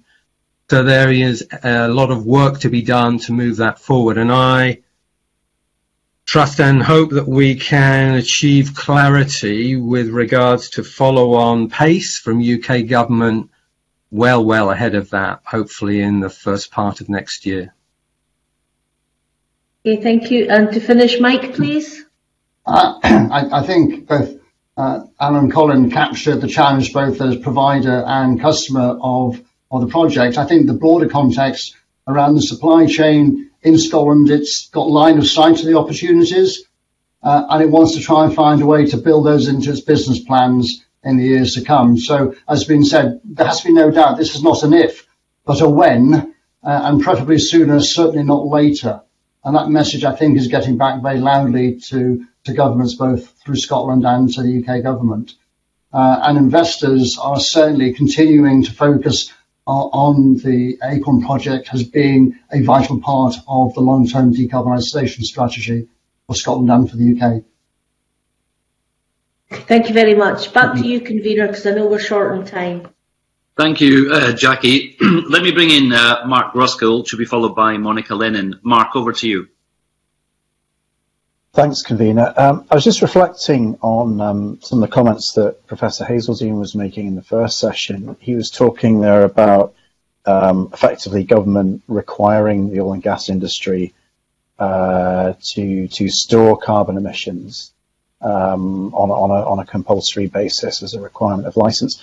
I wanted to ask Mike what the industry's view is of that, and, and specifically given that we've got 6.6 billion barrels of oil and gas in the North Sea, how much of that can be captured and stored, and over over what time scale?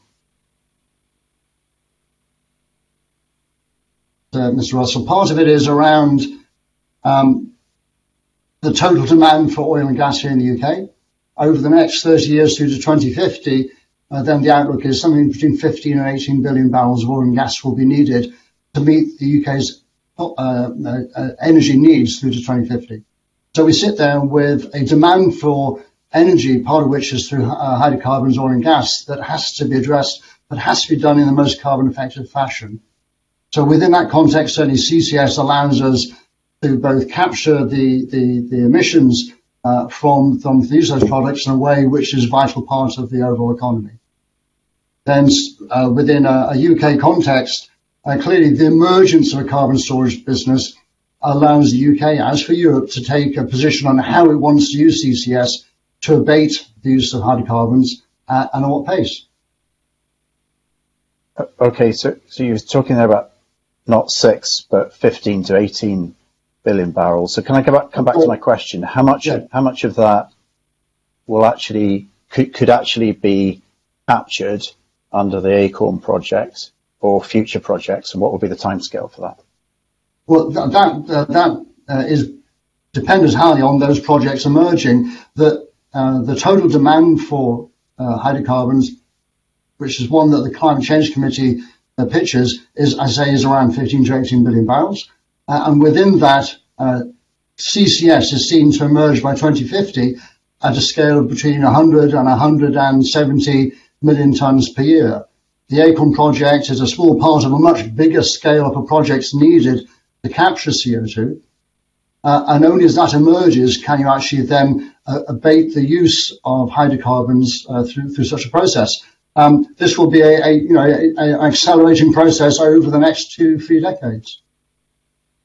So how much of that can be can be captured though by 2030? Because the next the next 10 years is critical. Well, the next eight years is critical, right, in terms of climate change. So how much of that? Let's go back to 6.6 billion barrels figure again.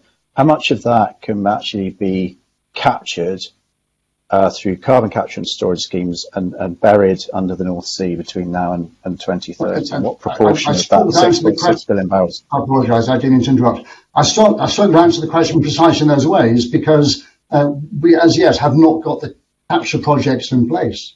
So it depends on the scale of projects and the scale of ambition.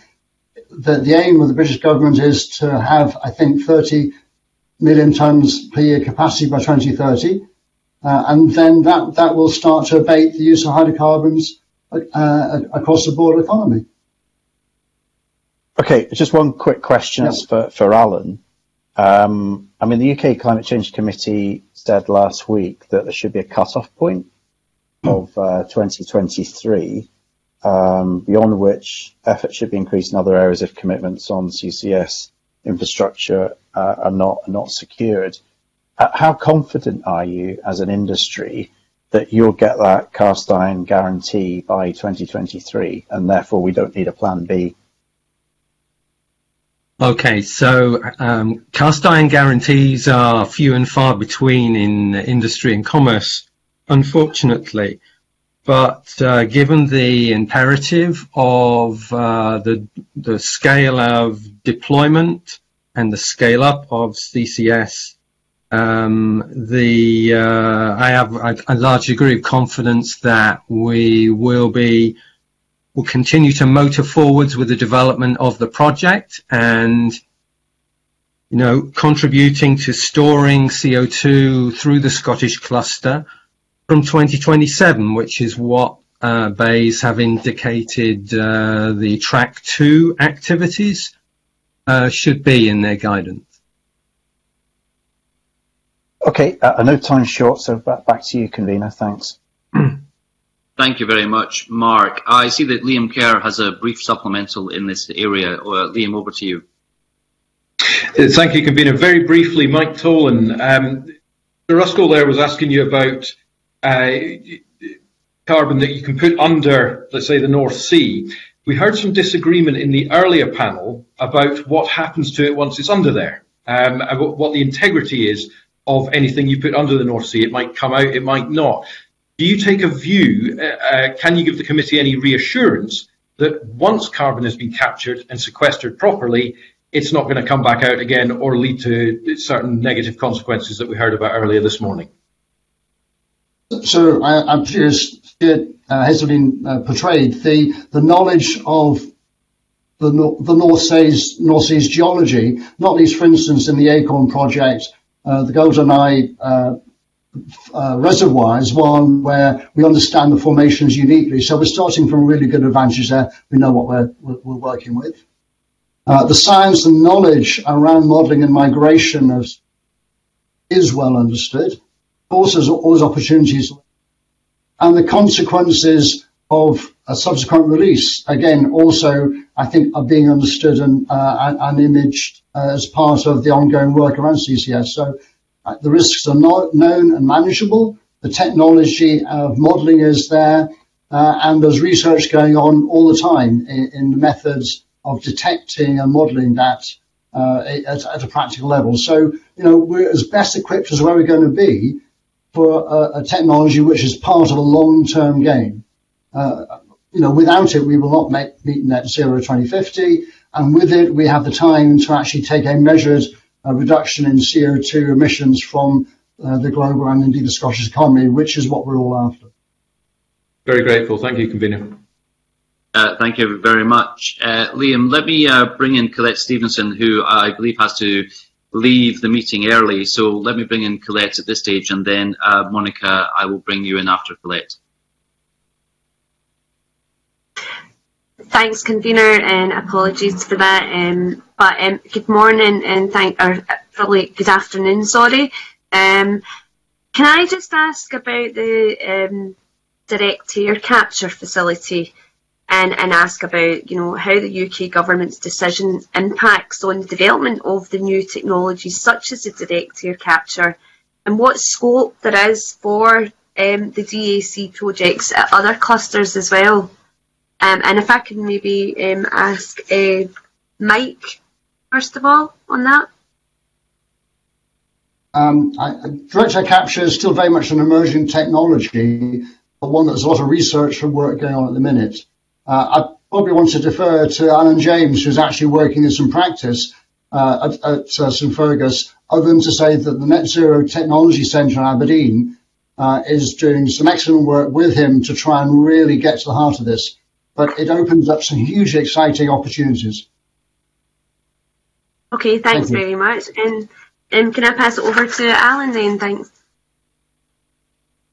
Yes, so we we are moving to develop a direct air capture project, which we're planning to locate in the northeast of Scotland.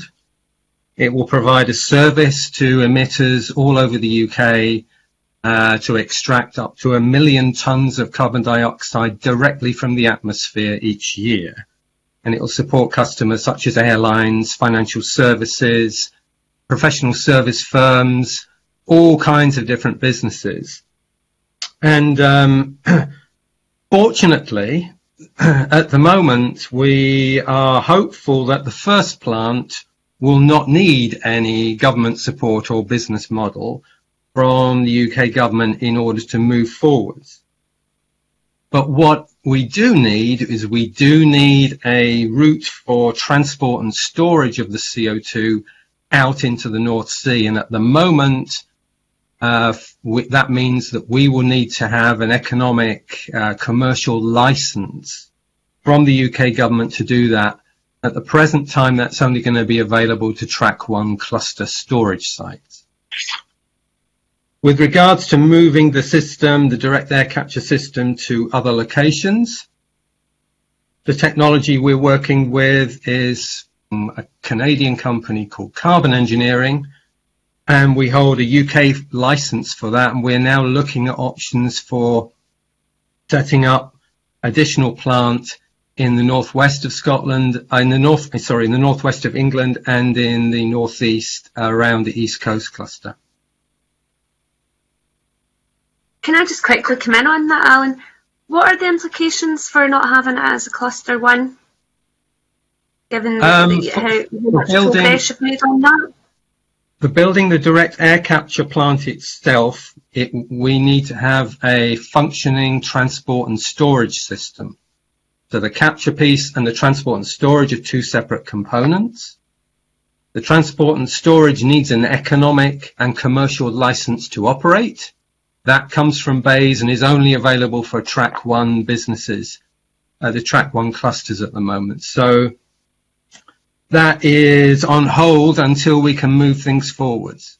so it's an example where we, we, we're not dependent upon the money per se from UK government to move this forward. We're dependent upon just the economic license and the um, provisions for long-term storage liability, which the UK government have as part of their track one process. Can I quickly just come in? Has there been any talks at all as to when that is likely to go ahead or when you're likely to get that license?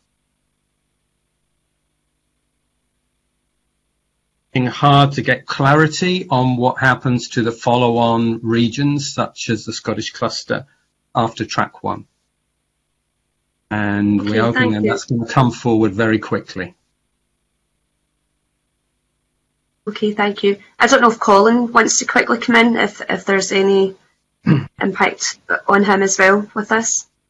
Uh, not not in a direct sense, but I think that Alan makes the very valid point of, of all this conversation that this is a net zero conversation. The, what we what we need to control is the concentration of CO2 in the atmosphere, and we can do that in two ways: one by not emitting CO2, and one by taking it out of the atmosphere and, and we should be doing both at the same time because some some of the points where we emit are going to be very very challenging for us to stop those emission points. Hence, any technology that's that's actually going to result in negative emissions, so direct air capture, arguably biomass, CHP, capturing from distilling industries, and, and so on. All of those are, are things that we should be trying to develop as well. Okay, thank you. Um, I've got no further questions, and thanks for uh, thanks to the convener for letting me in. Thank you. Thanks very much, Collette. Uh, next up, let me bring in Monica Lennon, to be followed by Liam Kerr. Monica, over to you. Thank you, convener, and good afternoon to our panel.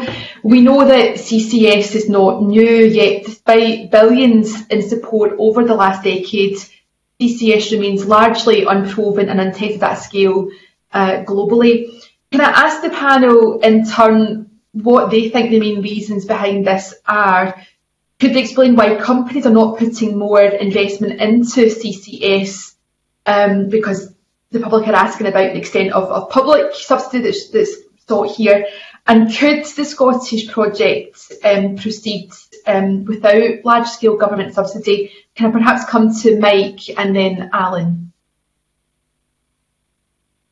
Thank, thank you very much indeed, Ms. Lennon. Um, CCS, the business model is still emerging. Part of the challenge over the last 10 and 15 years is quite how you mix CCS as part of a broader industrial activity. Going back long enough, there were discussions about whether CCS would work with coal at the Longannet power station, for instance. Clearly something that which is now we've moved back and on from. So the emergent business models have been part of the challenge. We know it's a solution, but how we actually frame that solution more widely has changed a lot over the last 10 and 15 years. Where we've got to now where people are understanding uh, the, the major industrial sources uh, are the ones to pursue, uh, and that the technology marries well to that uh, is actually what's unlocking the conversation. And, in the UK, coupled also with the opportunities for a more mature carbon market, one where the price signals from carbon are again making the business model one which works in the first place for society. And then on the back of that also, as we see depleted and um, uh, uh, finished with uh, assets, pipelines, reservoirs in the North Sea, the timing is suitable as well, both to reuse and make the most of, and do it in a way which is economically efficient for society. Thank you. Thank you. Alan next, then Colin, please. Okay, so the the um, I, I, guess I'll push back on the largely unproven piece. Uh, uh, carbon capture and storage has been operating in the North Sea in Norway for over 25 years successfully at the Sleipner gas field. Um, so that the technology is fully proven and works. I think why it hasn't scaled up and taken off is that unlike some parts of Norway, most parts of the world and the UK have not had a business model or a commercial justification, if you like, for taking on the extra expense to implement it. Uh, could the Scottish project proceed without government support? I think the transport and storage system that we have specifically designed at the Acorn, uh, you know, has has no interest in fossil fuel production at all. And uh, we, uh, we, our feeling is at the moment that there is an option to initiate that without government support to emitters using emissions points such as the first direct air capture plant, which we've just spoken about, uh, and the voluntary market. There is a direct air capture plant operating in Iceland, a small one, which uh, has been in the news recently. This one in Scotland would be Europe's biggest plant and operate on a much bigger scale. The other part is Europe. There are large industrial emitters in Europe right now that are in receipt of European Union innovation funding who will need to contract their storage service by this time next year. If Scotland is not ready, contract ready to support that, then it's very likely those emissions and that business will go to Norway and not Scotland. And so there are some options here for moving forwards and that would put infrastructure in place that Scottish emitters could plug into when the UK government is minded to move forward and award contracts for difference to Scottish emitters.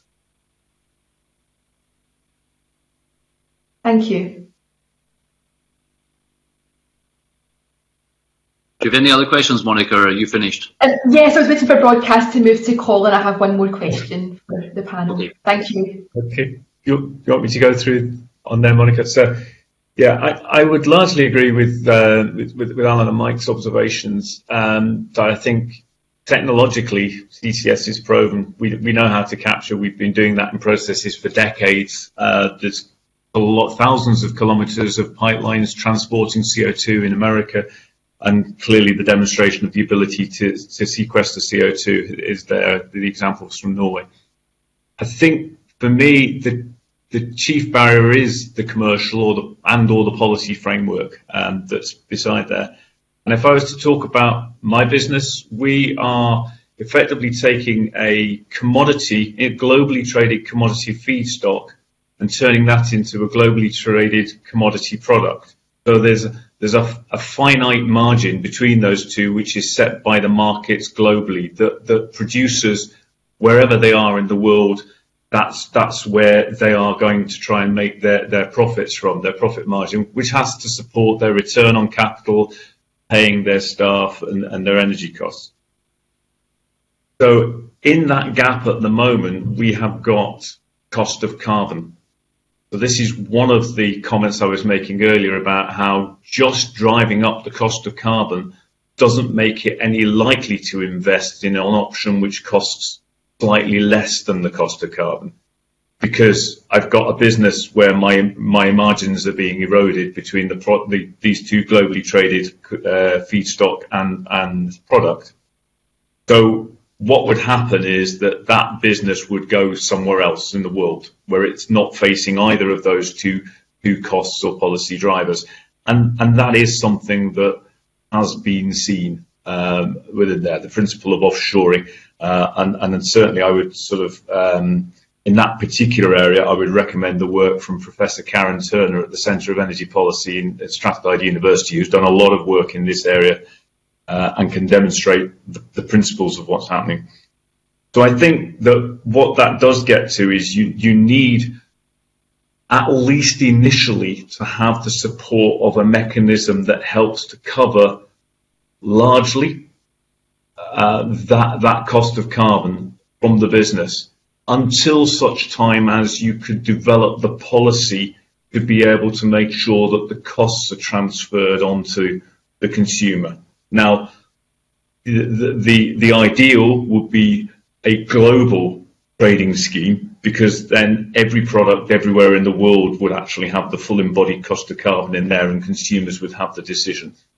Practically, that's going to be very difficult to produce. So we have to scale the ambition back to something that tries to get that same effect.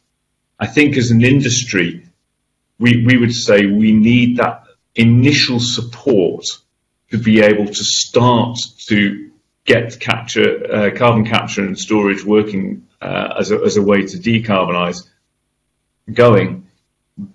But we would feel um, over time that needs to transition to a policy of effectively see, seeing the costs transferred um, on, onto the consumer so that we would actually have that in as a, as a, as a, as a margin so that we can continue to operate, continue to employ within the area, um, but not be dependent upon a support mechanism uh, from the government. That probably would make us feel as nervous long time as it would the government, to be honest.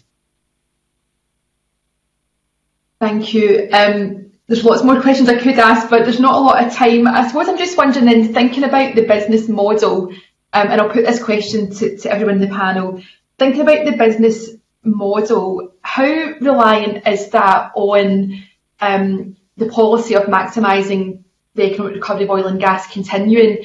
Does it rely on projects like Cambo coming on stream? Um, I suppose I'm asking this also because the, public um, are not fully convinced about CCS, that it is the right climate solution, um, especially when they hear some of the main um, supporters of it also wanting new oil fields like Cambo. So how do we address those concerns for people who are, are not fully convinced and, and, feel that perhaps there are mixed messages and perhaps vested interest? Um, maybe come back to, well, we'll stick with Colin since you're on screen and then come back to our other panellists. Okay. Um, the business models that we're working at from a CCS point of view, I don't believe are completely dependent upon um, or, even would necessarily support continued extraction of, carbon um, fossil fuel. There are the, the process emissions we discussed earlier on cement. There's support required for energy from waste.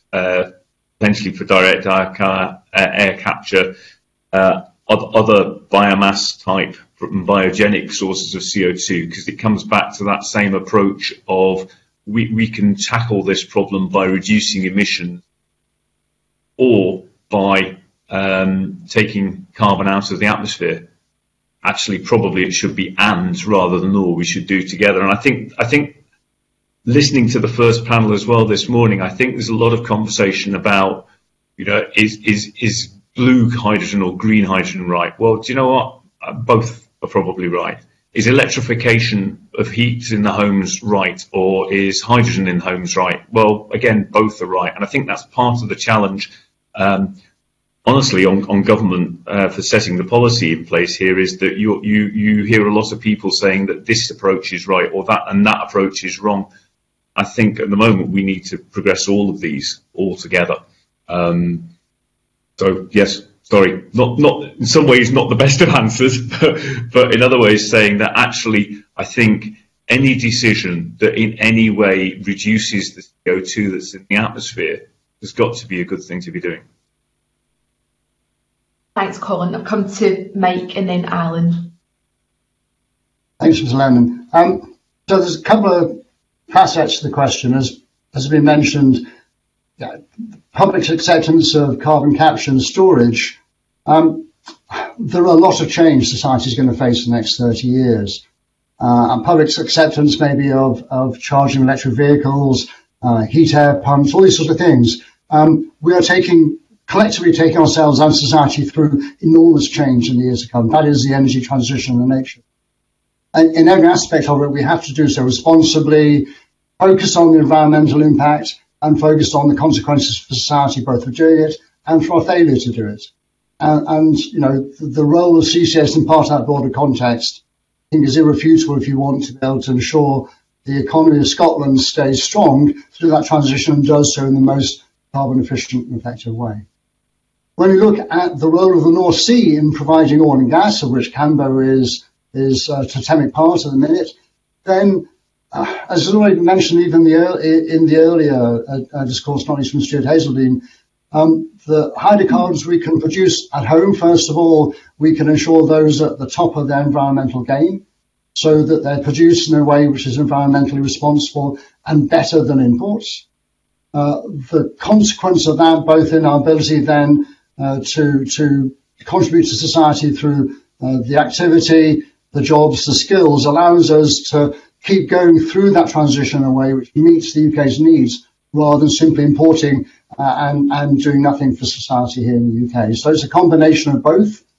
And MER, maximise economic recovery, is walking hand in hand with a net zero strategy. The two work together, both for the Oil and Gas Authority and for the UK.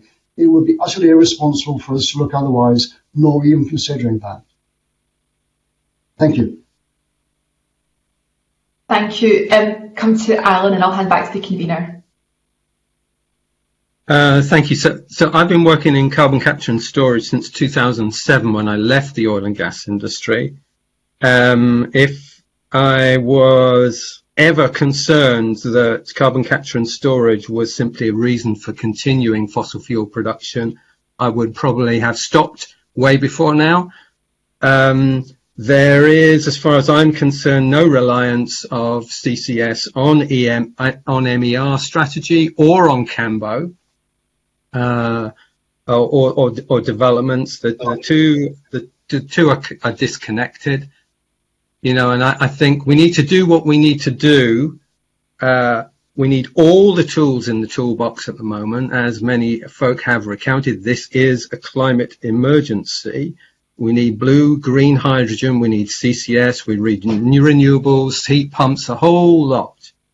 And uh, so I think you know there there is really no uh, connection. We, we even if we were to stop oil and gas production tomorrow, which we won't and we can't and we shouldn't, we'd still need CCS to take the carbon out of the air. And how are we going to manufacture um, wind turbines, the huge volume of wind turbines we're going to need for renewables? How would we do that?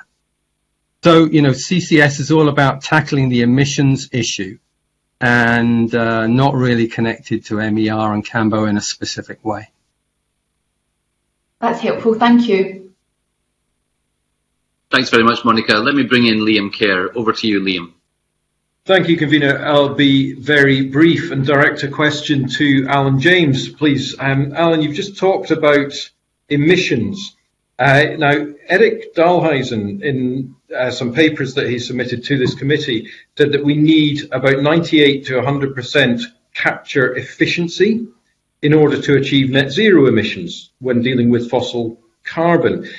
He suggested in that paper that capture efficiency is currently running at about 60%. So the question that I put to you is, is he right on one or both of those assertions? And in any event, how might we anticipate efficiency improving over time? Okay, so I, I, think it's important to understand. I think that my definition of efficiency is uh, the amount of carbon that you release from a plant compared to the amount of carbon that you capture from the plant. So a 95% efficient plant would capture 95% of the emissions and just have 5% that go into the atmosphere. I think on all of the capture projects that I've been looking at, uh, the capture efficiencies are in excess of 90 and approaching 95% for some of them. The role of uh, negative emission technologies such as direct air capture can then mop up that last 5% by taking the CO2 out of the atmosphere, that that balances off. So I think the, the 60% number is a number that I don't recognize at all. Thank you. Uh, uh, since um, you answered that so concisely, convener, I'll just and you mentioned direct air capture. Um, I actually met with Carbon Engineering the other week, um, and they introduced me to this idea of direct air capture, which just seemed personally I found that pretty exciting because it sounded as though what they were saying was you effectively take excess carbon emissions from the air and sequester them. Uh, is that right? And if, if that is right, is that not game changing in terms of what we can achieve in keeping ourselves as low as possible in terms of heating? Game-changing technology. Um, it is not a replacement for fitting carbon capture onto Collins plant at INEOS or the SSE plant or any industrial plant. That should be done. But what it can do is it can remove CO2 directly from the atmosphere, which, you know, the last two or three percent that carbon capture plants can't get to. The other important thing is that it, it provides us with an ability to time travel and take out the emissions that we put into the atmosphere three years ago when we were allowed to fly on holiday, right? So we can go back and take that out the atmosphere. And these are things we're going to have to do in order to uh, reduce the uh, the climate warming effect on a, global, on a global scale. Thank you. Back to you, convener. Thank you very much. Liam, uh, let me bring in Mark Ruskell, who wanted to follow up on a, a previous discussion. Mark, over to you. Yeah, thanks very much. Um, Colin, I just wanted to ask you about hydrogen because my understanding of hydrogen is it will be a very, very precious energy commodity that will need to decarbonize those really hard to abate sectors like steel, for example. Um, I mean, do you see the need effectively to deploy a kind of hydrogen hierarchy where we're prioritizing the use of hydrogen for those hard to abate sectors and perhaps deprioriti- deprioritizing, say, you know, decarbonisation of the way that we that we heat our homes, or do you think it's just like more of everything?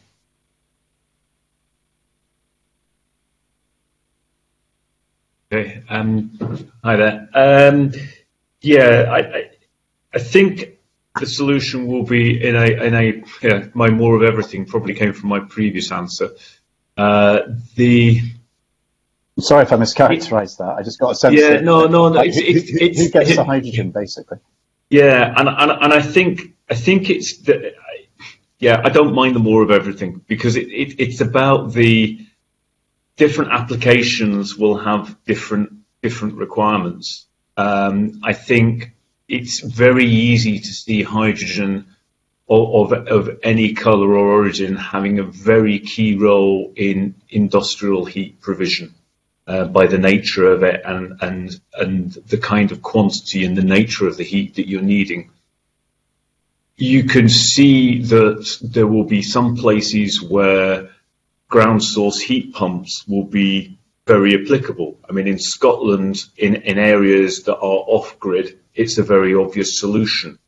But in areas in the centre of Glasgow, when you've got flats, it's not an obvious solution, and maybe hydrogen boilers on that particular application are, are, are far more appropriate.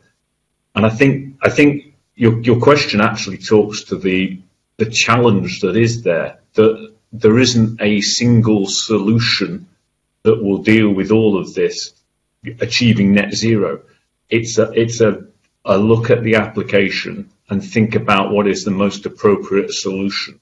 But I think the idea that we would say hydrogen is precious and only this sector or only domestic gets it would would perhaps be um, a little bit of a simplification. I think we actually almost have to look at each and every application and work out what is the best way to do that. And it might it might even be different for the same industry in different locations.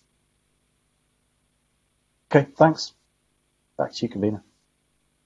Thank you very much, Mark. Um, that brings us to the end of questions. So let me thank Mike, Colin, and Alan very much for coming along to the panel, uh, sharing your expertise and your perspectives and, and your insights across a number of areas. Sorry, again, we started a bit late, but uh, I think we've uh, caught up in a bit of time. Uh, this is a topic we will no doubt return to next week. We are taking evidence from the Climate Change Committee. This will be on uh, the agenda as well as a topic to discuss. Uh, thanks again. Enjoy the rest of your day, and I now close the public part of this meeting. Thank you.